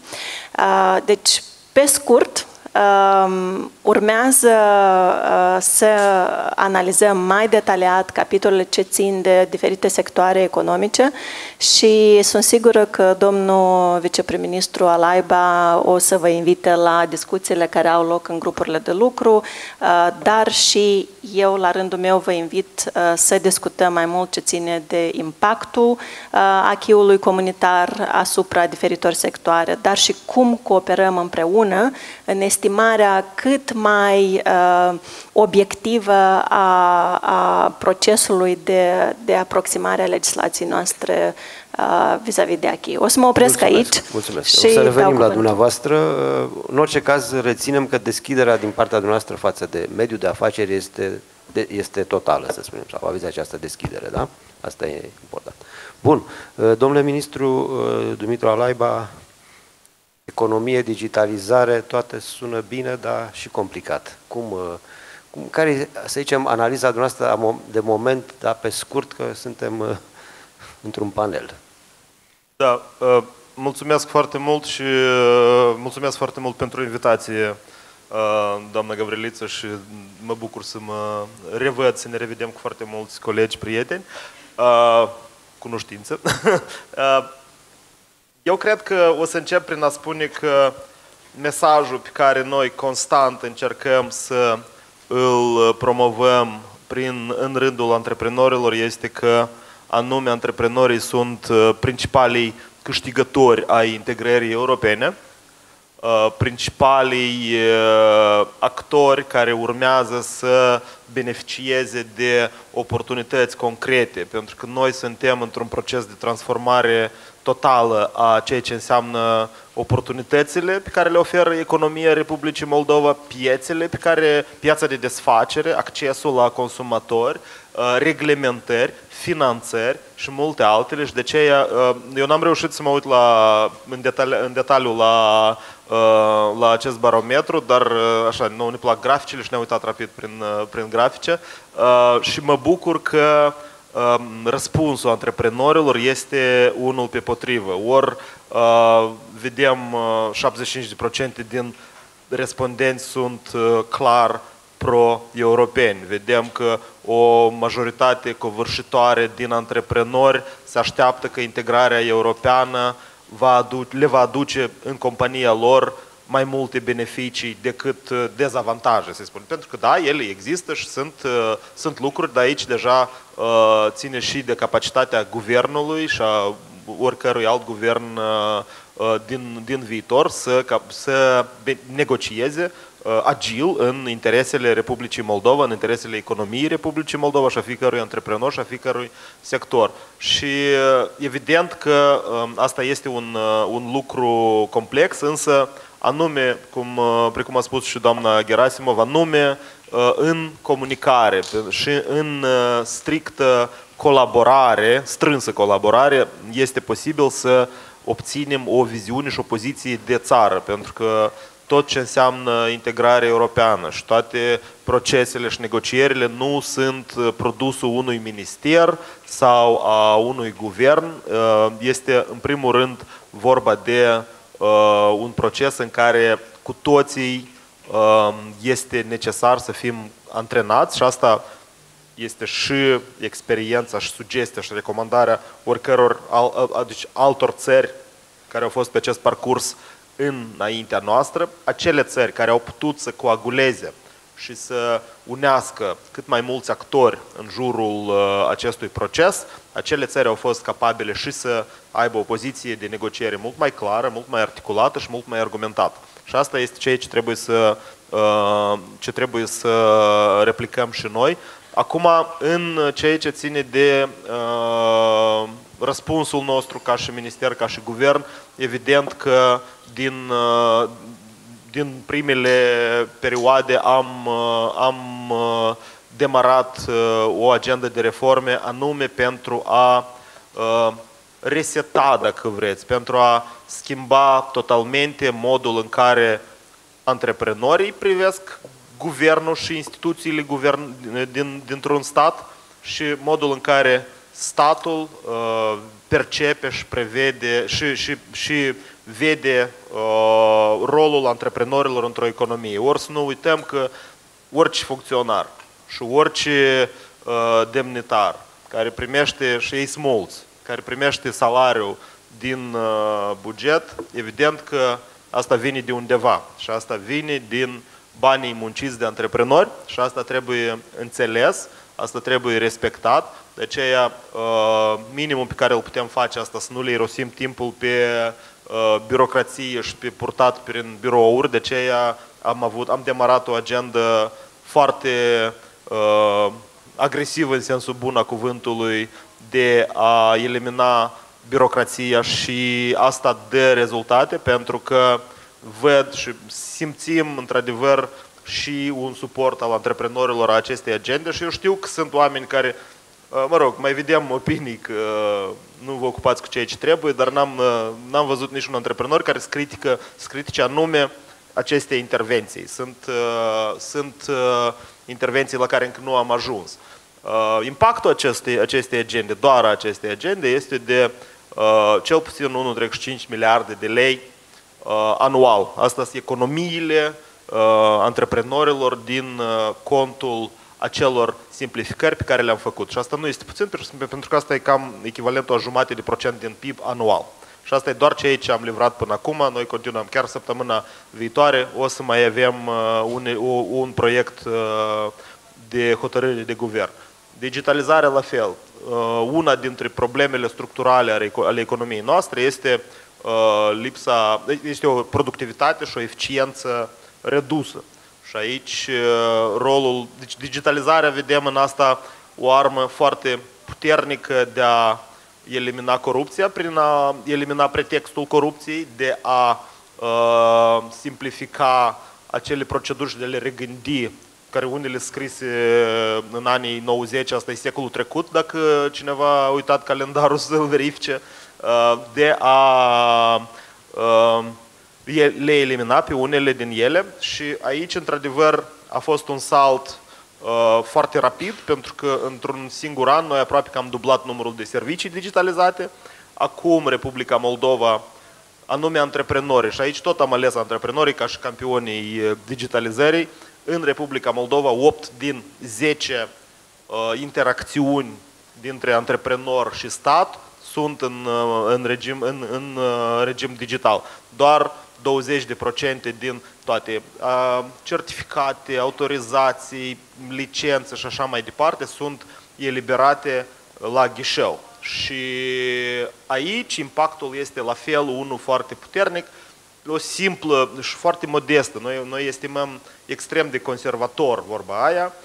Doar aici, încă un miliard de lei pe an, oamenii de afaceri îi economisesc mă rog, deja volumul mitei și corupției pe care l-am, l-am eliminat prin asta nu este de estimat. Și aici, încă o dată, nu este produsul unui minister, aici este un lucru de echipă la tot guvernul și la toate instituțiile subordonate diferitor ministerii, pentru că de digitalizat fiecare are cel puțin câte ceva. Și doar, iată așa, a fost posibil într-un anț să aproape să dublezi numărul de servicii, să aduci uh, rata de adopție la peste 80% și să economisești oamenilor de afaceri peste un miliard de lei.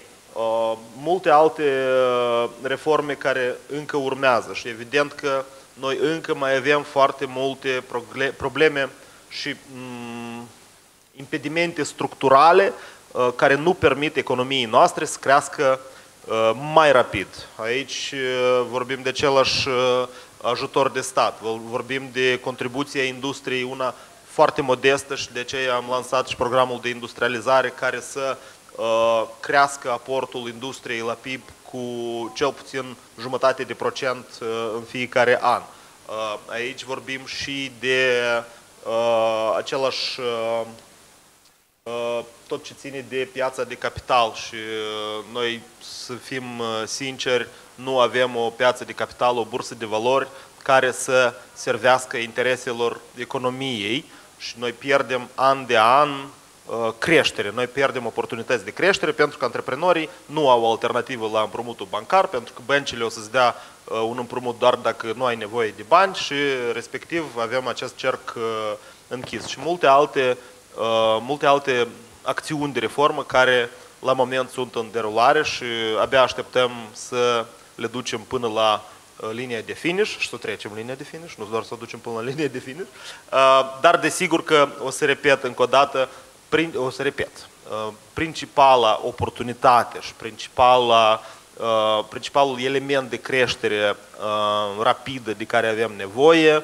uh, este integrarea europeană, un semnal puternic despre faptul că Republica Moldova se mișcă rapid pe acest drum, este în sine un punct de atracție pentru investitori, este în sine un, o sursă de optimism pentru uh, antreprenorii noștri locali care știu că Bine, Republica Moldova nu este o țară uh, încă în rând cu lumea, însă oamenii de afaceri uh, gândesc nu în termen de câteva luni, dar în termen de decenii uneori. Uh, și important este ca să dăm această certitudine antreprenorilor că lucrurile se îndreaptă în direcția corectă, că acele probleme pe care încă, cu care încă ne confruntăm, le putem înfrunta împreună și le putem elimina una câte una și Desigur că să o facem discutând și colaborând și identificând acele soluții care să lucreze nu doar pe hârtie la nivel de hotărâri conform legislației hotărâri de guvern, dar și în practică, pentru că asta e ceea ce contează. Mersi. Mulțumesc. Uh, uh, o să luăm și întrebări pentru stimații noștri invitați din panel, dar vă propun după ce facem un tur așa de masă, cum se spune, o primă intervenții, uh, doar să-l confirm într-un fel pe domnul Alaiba, în România, dincolo de faptul că spunea domnul Luca, se consumă una din, una din patru sticle vin, vin din Moldova, ceea ce înseamnă că știm vinul moldovenesc, aud foarte multă lume din mediul antreprenorial care salută sau uh, chiar privesc cu invidie ceea ce se întâmplă în materie de digitalizare în Republica Moldova. Deci lucrurile încep să se vadă și să se și simtă. Deci cred că e un drum, uh, cu siguranță e un drum bun. Uh, mergem mai departe, doamna Rufa, vă rog, câteva, uh, eu știu, uh, idei, vă rog să vă ascultăm. Bună ziua tuturor, doamna Gavrileț, în primul rând felicitări dumneavoastră și echipii pentru acest uh, studiu, uh, date așa care m-au făcut să-mi îndrept spatele un pic, pentru că uh, auzind în fiecare zi doar probleme, pentru că așa ne este lucru, de fapt ne dăm seama că lucrurile nu sunt atât de triste per general, dar avem încă foarte mult de lucrat. Um, Mă numesc Mariana Rufă, reprezint o asociație care la ziua de astăzi numără peste 120 de companii internaționale și locale. Acei 10 fondatori uh, sunt companiile care au înființat uh, asociația cu 13 ani în urmă. Și, uh, de fapt, ceea ce facem la moment, uh, oferim suport pe partea de policy și advocacy uh, business-ului internațional și local, Uh, vorbim de peste 27.000 de angajați uh, în rândul angajatorilor pe care îi reprezentăm, ori uh, prerogativa cheie ține de implementarea practică a achiului comunitar în legislația națională și oferirea de suport business-ului în acest sens, dar și autorităților publice. Doar câteva gânduri, pentru că n-aș vrea să stau între audiență și prânz, dar bine, ceai, cafea, nu contează, dar uh, câteva gânduri. În primul rând vorbim despre 35 de capitole, uh, un cadru de negocieri care a fost lansat, exact cum a menționat și doamna Gerasimov, uh, toate aceste capitole implicând niște domenii pentru care este necesară expertiză, expertiză multă, Uh, eu personal uh, m-am uh, uitat pe mm, subiectele sau domeniile fiecărui din aceste capitole pentru că în calitate de IBA Moldova ne implicăm pe unele din domenii foarte profund cu, cu conținut și aducem practicile internaționale în businessul de aici, vorbesc de practicile de mediu, vorbim despre sectorul energiei și de regenerabile, vorbim de aspectele care țin de GDPR, deci și legea nouă care a fost promovată. Deci, doar ca un punct de referință, vorbim de foarte multă expertiză, care, din păcate, la ziua de astăzi, în autoritățile publice, foarte des lipsește sau este într-un număr foarte limitat. Deci, în acest sens, chemarea noastră din partea business-ului către toată echipa guvernamentală, exact cum a și spus doamna Gerasimov când prima plecare la conferința interguvernamentală a avut un reprezentant din mediul societății civile, în egală măsură suntem dispuși să oferim tot suportul necesar și comunicare cu businessul în procesul de pregătire. Și acesta este al doilea moment care am vrut să-l reiterez. Deci, pregătirea acestor negocieri pe capitole. Mai întâi să vedem în ce măsură ne-am uh, racordat legislația, Doi, în ce măsură această legislație nouă pe domeniile complexe poate fi implementată într-o manieră etapizată cum a și fost cazul în cazul legii concurenței, cum este și cazul în protecția datelor caracter personal, cum este și cazul în mai multe domenii, deci unde putem să etapizăm implementarea acestor legi și, într-adevăr, consultând business-ul, să pregătim acest cadru de negocieri ca să spunem ceea ce trebuie de spus și de pus accentele acele pe care le putem absorbi la moment, la etapa aceasta, în negocieri cu uh, Uniunea Europeană nu putem să implementăm și nu trebuie să ne asumăm ceea ce nu putem la moment face, din mai multe puncte de vedere, pentru că o să ricoșeze și mai rău spre noi. De ce um, acest reality check și conectarea cu pământul este foarte importantă în acest sens. În al treilea rând, aș vrea să, așa, câteva idei referitor la acordul de asociere care a fost semnat în 2014 și ca parte acestuia DCFTA, la care s-a referit excelența sa domnul Ianis Maziex astăzi. Um, știți, eu n-am văzut recent nicio analiză uh, ce am reușit la concret să realizăm din cadrul acestui acord de asociere și DCFTA. Da, noi știm că numărul și valoarea exporturilor s-a dublat pe piața UE. Da, noi știm că am avansat uh, pe unele domenii, dar, sincer, noi încă nu am valorificat suficient de bine uh, prevederile uh, acestor documente și înainte ca să vorbim despre single market, piață unică și multe alte lucruri, mai ales că primul capitol ține de mișcarea liberă a bunurilor, un capitol foarte complex și foarte de impact major pentru business, haideți mai întâi să facem o concluzie și să trăsăm o linie ce teme pe acasă nerealizate, nefăcute, avem pe marginea acordului de comerț aprofundat și cuprinzător. Și în cadrul acelor concluzii să vedem cum putem să ne pregătim pentru, de exemplu, capitolul 1 care ține de mișcarea bunurilor și deci free movement of goods. Aici vorbim despre acele taxe vamale care încă nu au fost pe deplin revizuite. Noi în continuare avem materie primă cu taxe vamale pentru care Republica Moldova este necompetitivă. Noi trebuie să revizuim nomenclatorul mărfurilor, noi trebuie să vedem care sunt barierele tarifare și netarifare, pentru că în continuare mai sunt. Noi trebuie să ne conformăm cu acele reguli de mediu care sunt deja impuse pentru produsele uh, alimentare, inclusiv de origine animalieră.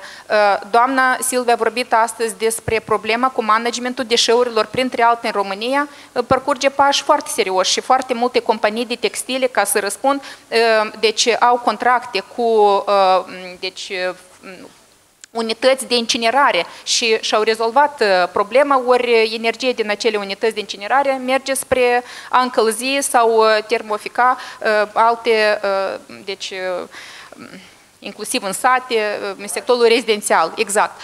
Deci, Aici am vrut să mă refer că încă multe nu sunt făcute pe partea de legislație secundară și lucrurile trebuie să se întâmple în paralel, ori această analiză unde suntem acum pe um, exportul și importul de produse trebuie să fie făcută foarte riguros. Noi nu avem atât de mulți exportatori în Republica Moldova. Numărul lor crește.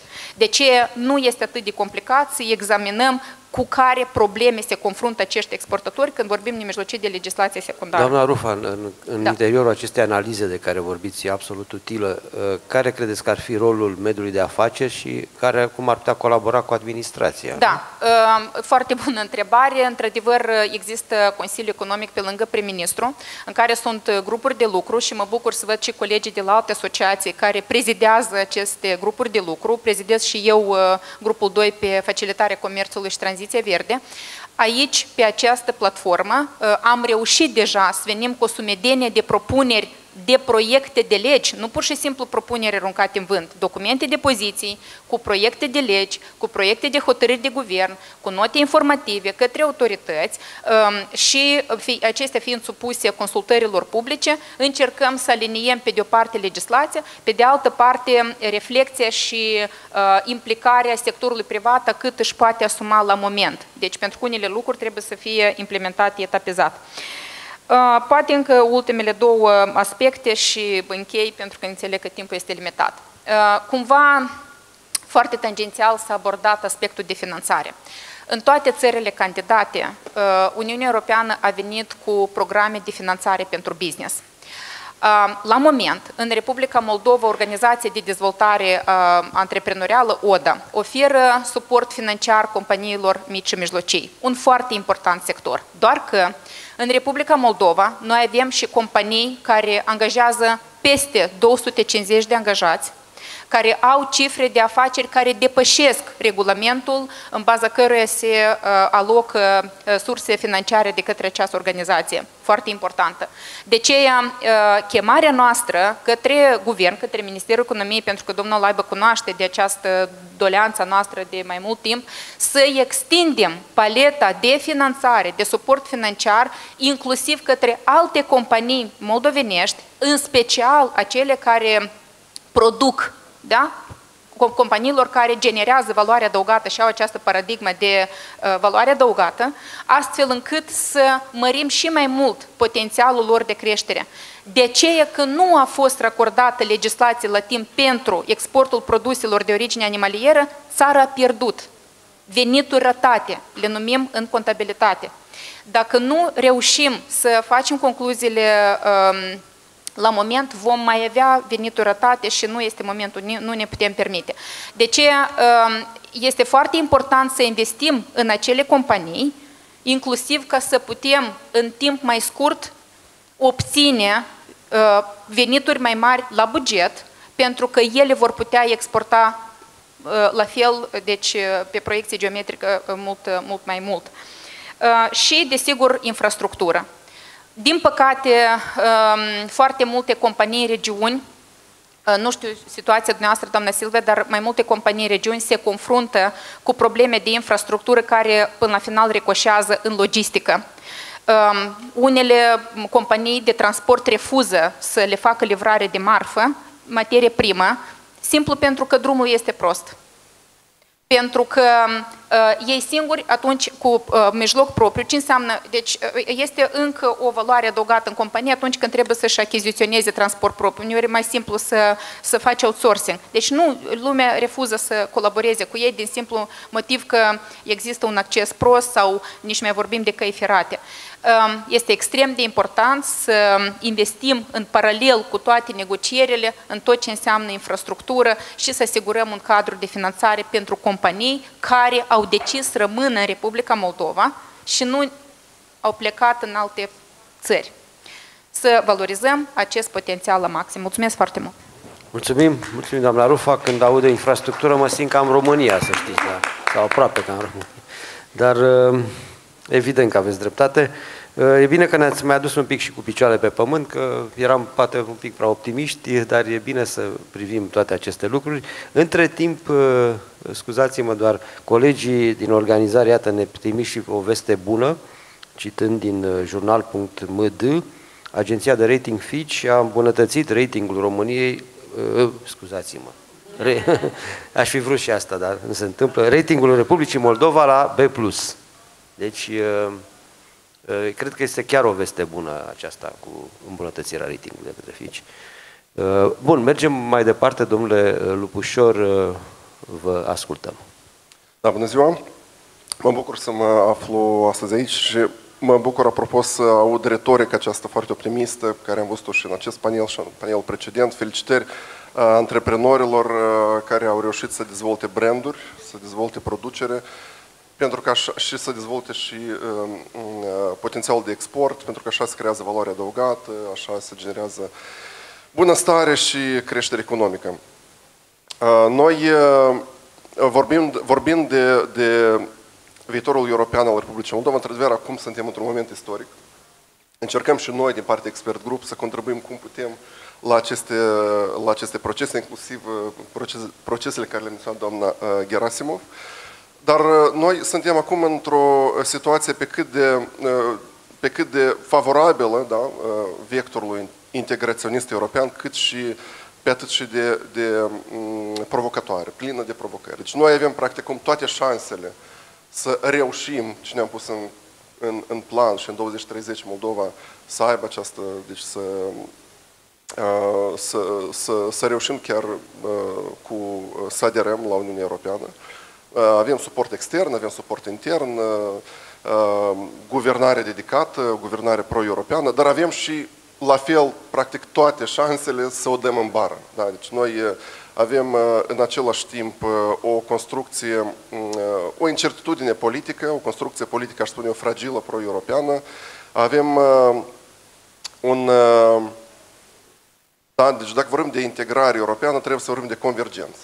Și, și aici, cu de convergență economică. Și aici avem la fel probleme, chiar dacă simplu, simplă comparație a PIB-ului per capita Moldova-România, vedem că noi nu ne-am apropiat de PIB per capita din România. Dacă 30 de ani în urmă PIB per capita din Moldova raportat la cel din România era 50%, acum am coborât la 42%. Deci, o, succesul oricărei integrări depinde uh, fundamental de uh, succesul uh, convergenței noastre, la, măcar să ne apropiem la nivelul de dezvoltare din uh, Uniunea Europeană. Uh, o altă problemă este încetinirea uh, creșterii economice, deci noi uh, vorbim acum de perspective economice, de, de, de creștere economică de 2-3%, cam așa, cam aici este potențialul nostru. Uh, după o creștere economică de, o stagnare economică de anul trecut de 0,7%, după, la fel după o cădere economică de 5,6%, practic noi vedem o încetinire a potențialului de creștere economică, ceea ce denotă faptul că modelul de competitivitate pe care ne-am bazat până acum își epuizează potențialul. Acel model bazat pe costul redus al forței de muncă, acel model care a atras, apropo și investitori care au venit aici doar pentru că în Republica Moldova salariile sunt cele mai mici din regiune, dar odată cu emigrarea populației cu vârstă aptă de muncă, odată cu creșterea salariului mediu cu ritmuri mai rapide decât productivitatea muncii, noi ne epuizăm acest, acest cumva, model de, de creștere, de competitivitate economică bazat pe costul redus la forță de muncă și perspectivele viitorului sau tranziția către un nou model este destul de incertă, pentru că avem acest război la hotar, problemele interne, în special legate de justiție, care împiedică atractivitatea investițională a țării. Și o, o multitudine de alte probleme care nu, ne, nu, nu permit țării să, să, să tranziteze rapid la acest nou model de, de creștere economică. Chiar dacă, analizând, dacă analizăm fluxurile economice Uniunea Europeană. Da, Uniunea Europeană este, știm cu toții, principalul partener comercial, investițional și de dezvoltare al țării. După 10 ani de DCFTA, Uniunea Europeană este principal, deci atrage două treimi din exporturi, dar nivelul de concentrare al, al celor exporturi după din punct de vedere geografic a crescut. Deci noi am rămas ancorați pe top 5 piețe care reprezintă mare parte mm, din exporturile noastre, deci e vorba de, evident, în primul rând România, uh, Germania, Italia, Polonia, Cehia și atât. Noi nu am reușit să, export, să diversificăm și să accedem pe alte, pe alte piețe. Nu am reușit să creștem nivelul de sofisticare tehnologică a exporturilor noastre. Deci 90, peste 90% din exporturile noastre pe piața Uniunii Europene sunt produse cu un nivel scăzut de procesare, cu un nivel scăzut de sofisticare tehnologică, cu un nivel, deseori sunt pur și simplu materii prime. Asta înseamnă că valoarea adăugată nu rămâne în Republica Moldova, ea fie este, import, fie, fie este deci aceasta înseamnă că modelul precedent, care acum se epuizează, aducea o valoare adăugată redusă și trebuie să facem acel salt major către un nou model de competitivitate. Vectorul și, în general, procesul de integrare europeană oferă toate oportunitățile celui salt major. Acea, acea reevaluare din partea agenției de rating Fitch, la fel, este un, un semnal pozitiv și cumva pune bazele pentru integrarea noastră și pe piața internațională de capital, deci este la fel un semnal bun, dar trebuie să, să ne accelerăm uh, pe, pe, pe dimensiunea aceasta de, de tranzitare către un uh, nou model de, competitiv, de competitivitate și, să, și politicile statului cumva ar trebui să uh, ia în considerație uh, faptul că, pe de o parte, da, noi uh, recunoaștem problema deficitului pe piața muncii, Uh, este o, o constrângere obiectivă pentru oamenii de afaceri, dar în același timp uh, să strategic să înțelegem că deficitul piața forței de muncă trebuie să impulsioneze procesele de automatizare, procesele de, de, de mm, retehnologizare a companiilor. Noi avem uh, cea mai mare pondere din Europa a populației economic inactive, populația cu vârstă aptă de muncă, care din diferite motive nu este integrată pe piața muncii.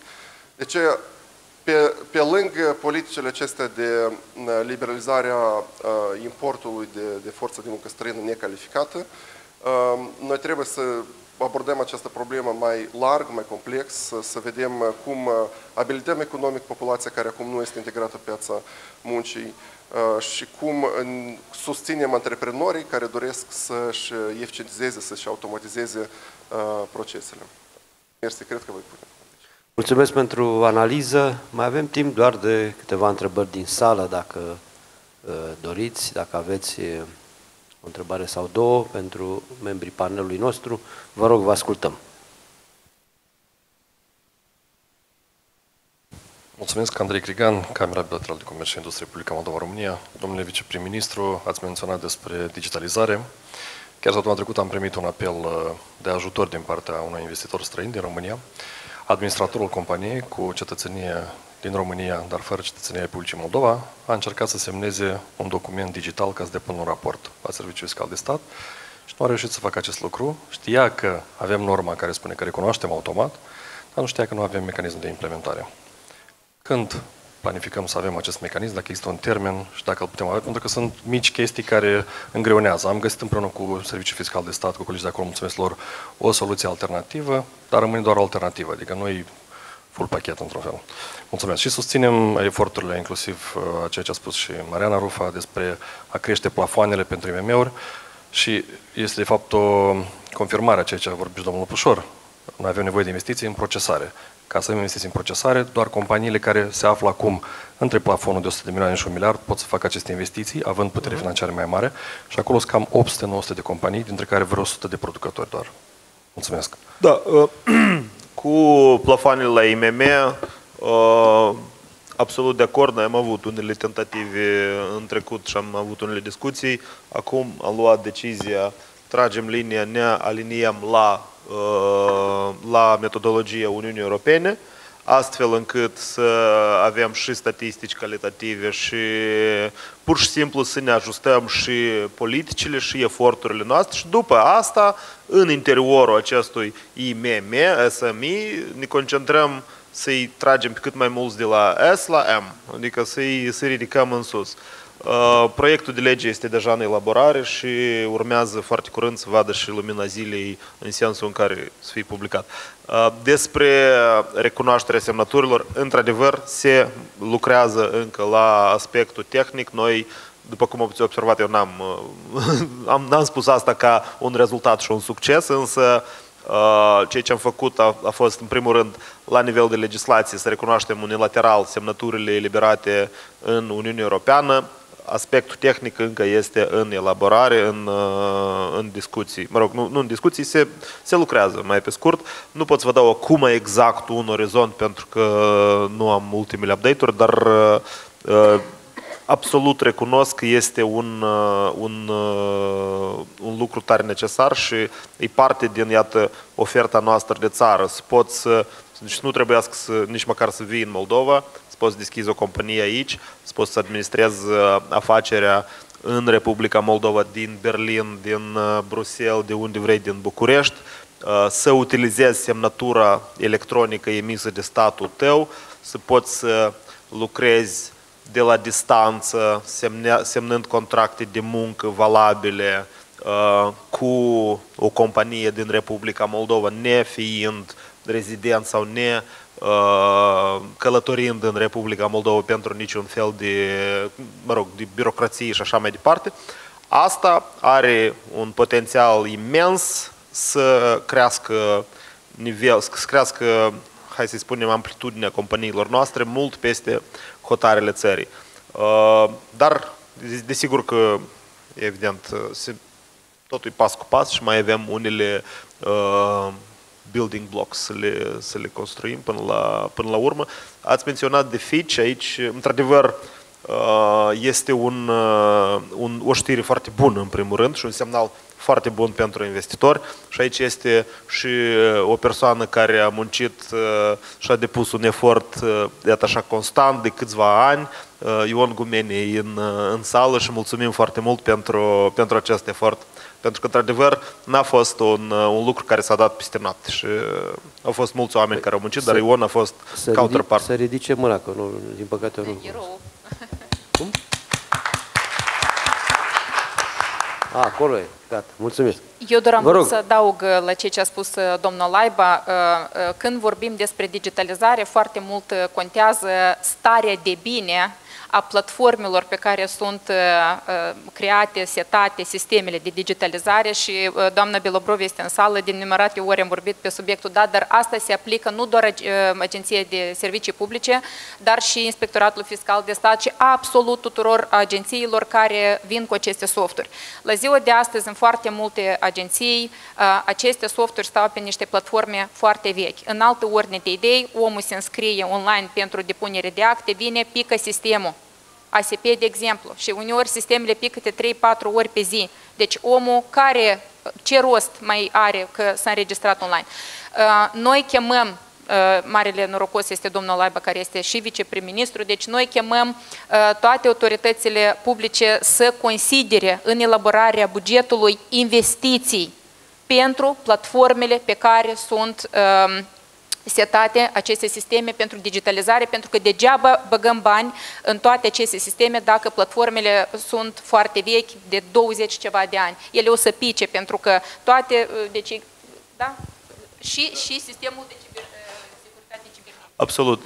Eu pot să vă dau o listă mult mai multă de, de probleme din acest sector, dar nu o să o dau. Evident că asta este un proces permanent. Digitalizarea nu e, mă rog, un sprint în care ai ajuns la destinație și gata. Asta necesită investiții permanente în infrastructura digitală, în securitatea cibernetică, în calitatea serviciilor, în uzabilitatea acestora, în incluziunea digitală, pentru că asta e ultima redută, în capacitatea umană și așa mai departe.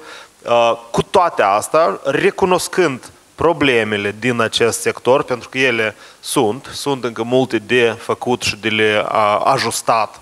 Totuși, haideți să acceptăm că suntem o bucățică de lider regional la acest capitol, în ceea ce ține de utilizarea serviciilor publice și să continuăm să muncim împreună și să ajustăm, să îmbunătățim calitatea serviciilor, astfel încât fiecare client, pentru că atunci când un antreprenor sau un cetățean vine la agenție servicii publice, el e client, fix așa că e, cum e client când vine la o bancă sau când vine la un restaurant, astfel încât clientul nostru să beneficieze de o calitate cea mai înaltă a serviciilor.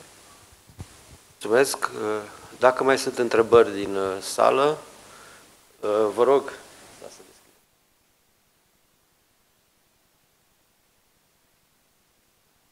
Una foarte scurtă pentru doamna viceprim-ministru Gerasimov. Cred că amândouă avem foarte clară ideea aceasta provenită de la domnul profesor Kelemen cu privire la transformarea internă a Uniunii Europene și modul în care și Uniunea Europeană se schimbă la rândul ei. Și chiar cu doamna Gavrilița anul trecut aveam un dialog uh, transatlantic și cu domnul profesor și discutam în ce măsură aceste transformări interne ale UE pot afecta procesul de negociere preaderare ale Republicii Moldova. Și mai departe, întrebarea mea efectiv este cum mecanismele dumneavoastră consultative cu actorii locali vor crea acest tip de input Uh, uh, agil al poziționării de negociere într-un peisaj care riscă să aibă mai multe variabile decât au avut statele membre din Europa de Est raportate la un context mult mai stabil al Uniunii Europene. Mersi mult de întrebare. Necesită răspunsuri mult mai complexe. Eu o să încerc uh, foarte pe scurt. Ce ține de um, schimbările, transformările din cadrul Uniunii Europene, este foarte clar că o Uniune Europeană cu 34-35 de state membre are nevoie de anumite schimbări pentru a continua să fie la fel de competitivă, la fel de funcțională. Aici știm că demarează acest dialog pe intern. La sigur o să vedem transformări sau decizii pe parcursul următorilor următorilor uh, ani. Din discuțiile pe care le auzim și noi uh, la Bruxelles, procesul nostru de ajustare la standardele Uniunii Europene ar trebui să meargă în paralel cu procesul de transformări interne prin care uh, va trece Uniunea Europeană. În același timp, e clar că va exista o careva sinergie uh, pe parcursul următorilor uh, ani. E vorba și de uh, o abordare posibil diferită a bugetului Uniunii Europene. Aceasta la fel ar putea afecta noile state membre ale Uniunii Europene. Dar este important că și părerea noastră este solicitată în aceste discuții, în acest dialog și sperăm mult ca să accelerăm nu doar pe palierul nostru al statelor candidate în discuțiile pe care le avem cu Bruxelles, dar și statele membre ale Uniunii Europene, la fel să accelereze aceste discuții despre transformările care, care urmează. Ce ține de consultările pe care le avem și cum acestea ar putea să um, cumva impacteze uh, discuțiile noastre la, la Bruxelles. Uh, în primul rând, dacă am înțeles corect întrebarea, dacă e vorba de consultări pe intern, uh, cred că în primul și în primul rând uh, această expertiză despre care vorbea și doamna Rufa, pe care noi putem să o îmbunătățim prin cooperare, fie cu mediul de afaceri, fie cu societatea civilă, fie cu mediul academic. Aceasta doar ne fortifică capacitatea noastră de negociere, ne fortifică pe intern posibilitatea de a convinge, de a fi mai convingători atunci când, când urmează să prezentăm acele poziții de negocieri la, la Bruxelles. Bruxelles. În același timp, dispunem și de expertiză din afara um, uh, Republicii Moldova, uh, care la fel ne ajută să ne consolidăm uh, pozițiile de negocieri, în așa fel ca atunci când vom deschide capitolele propriu-zis pentru negocieri, să putem să prezentăm la cel mai înalt nivel interesul nostru național în, în, în, în acest proces. Mulțumesc. Le mulțumim membrilor panelului. Îi invit, dacă le permite programul, să rămână alături de noi uh, și uh, la, la zona de socializare. Vă mulțumesc, să-i aplaudăm și să le mulțumim pentru prezență.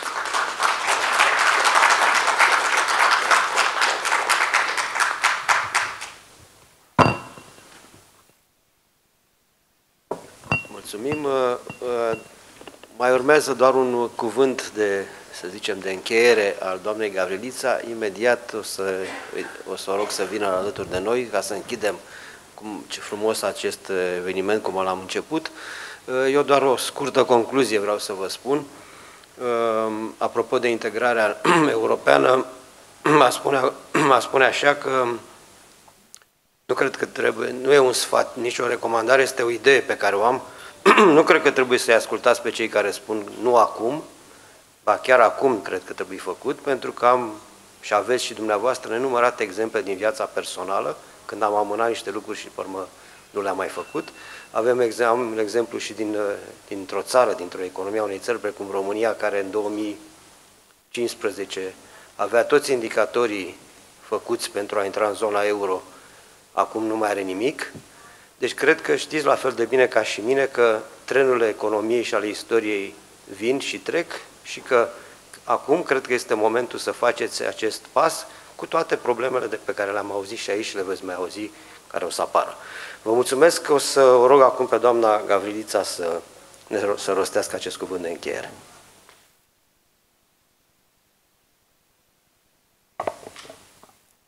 Este foarte greu să fii ultimul vorbitor care este între audiență și prânz. Ehm, de aceea vreau uh, să vă mulțumesc pentru că ați rămas până la încheierea evenimentului. Îi mulțumesc pe toți cei care ne-au urmărit online. Ne-am propus să avem un eveniment uh, plin de conținut și cred că ne-a reușit acest lucru. Uh, am auzit multe date care ne pot ajuta. Am auzit opinii despre beneficiile și dezavantajele, dar cel mai important strategiile care ne pot ajuta să depășim dezavantajele perioadei următoare și vreau să vă spun că nu în zadar asociația obștească pe care am fondat-o are cuvântul parteneriate în denumire. Eu cred cu tărie că dacă este să realizăm ceva bun pentru țară și pentru cetățenii noștri, trebuie să lucrăm împreună. Trebuie să uităm de aceste diviziuni pe care noi uneori artificial le creăm. Că guvernul, că antreprenorii, că organizațiile neguvernamentale, că uh, unii sau alții. Neapărat trebuie să lucrăm împreună.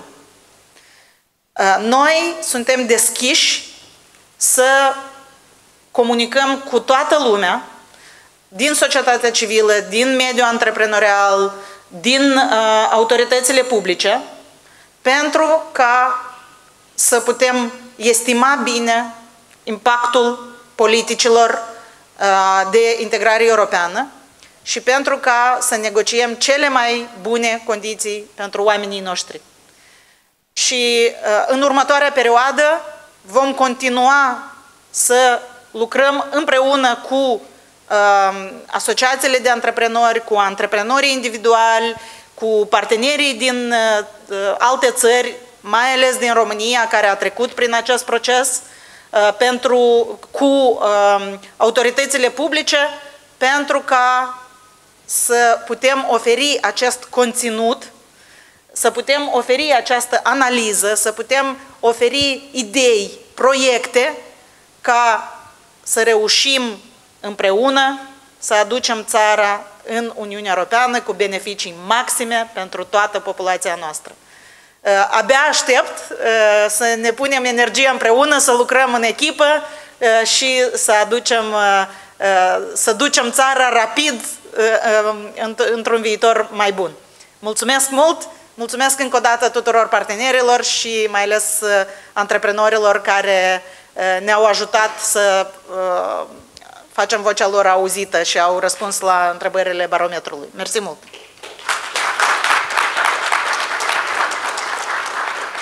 Bun, vă mulțumesc și eu că ați rămas alături de noi, că sunteți aici, că ați participat la acest eveniment. E doar un început, așa cum spune doamna Gavriliță. Uh, acum vă invităm la socializare și să uh, servim împreună uh, prânzul. O zi bună și o integrare bună vă doresc!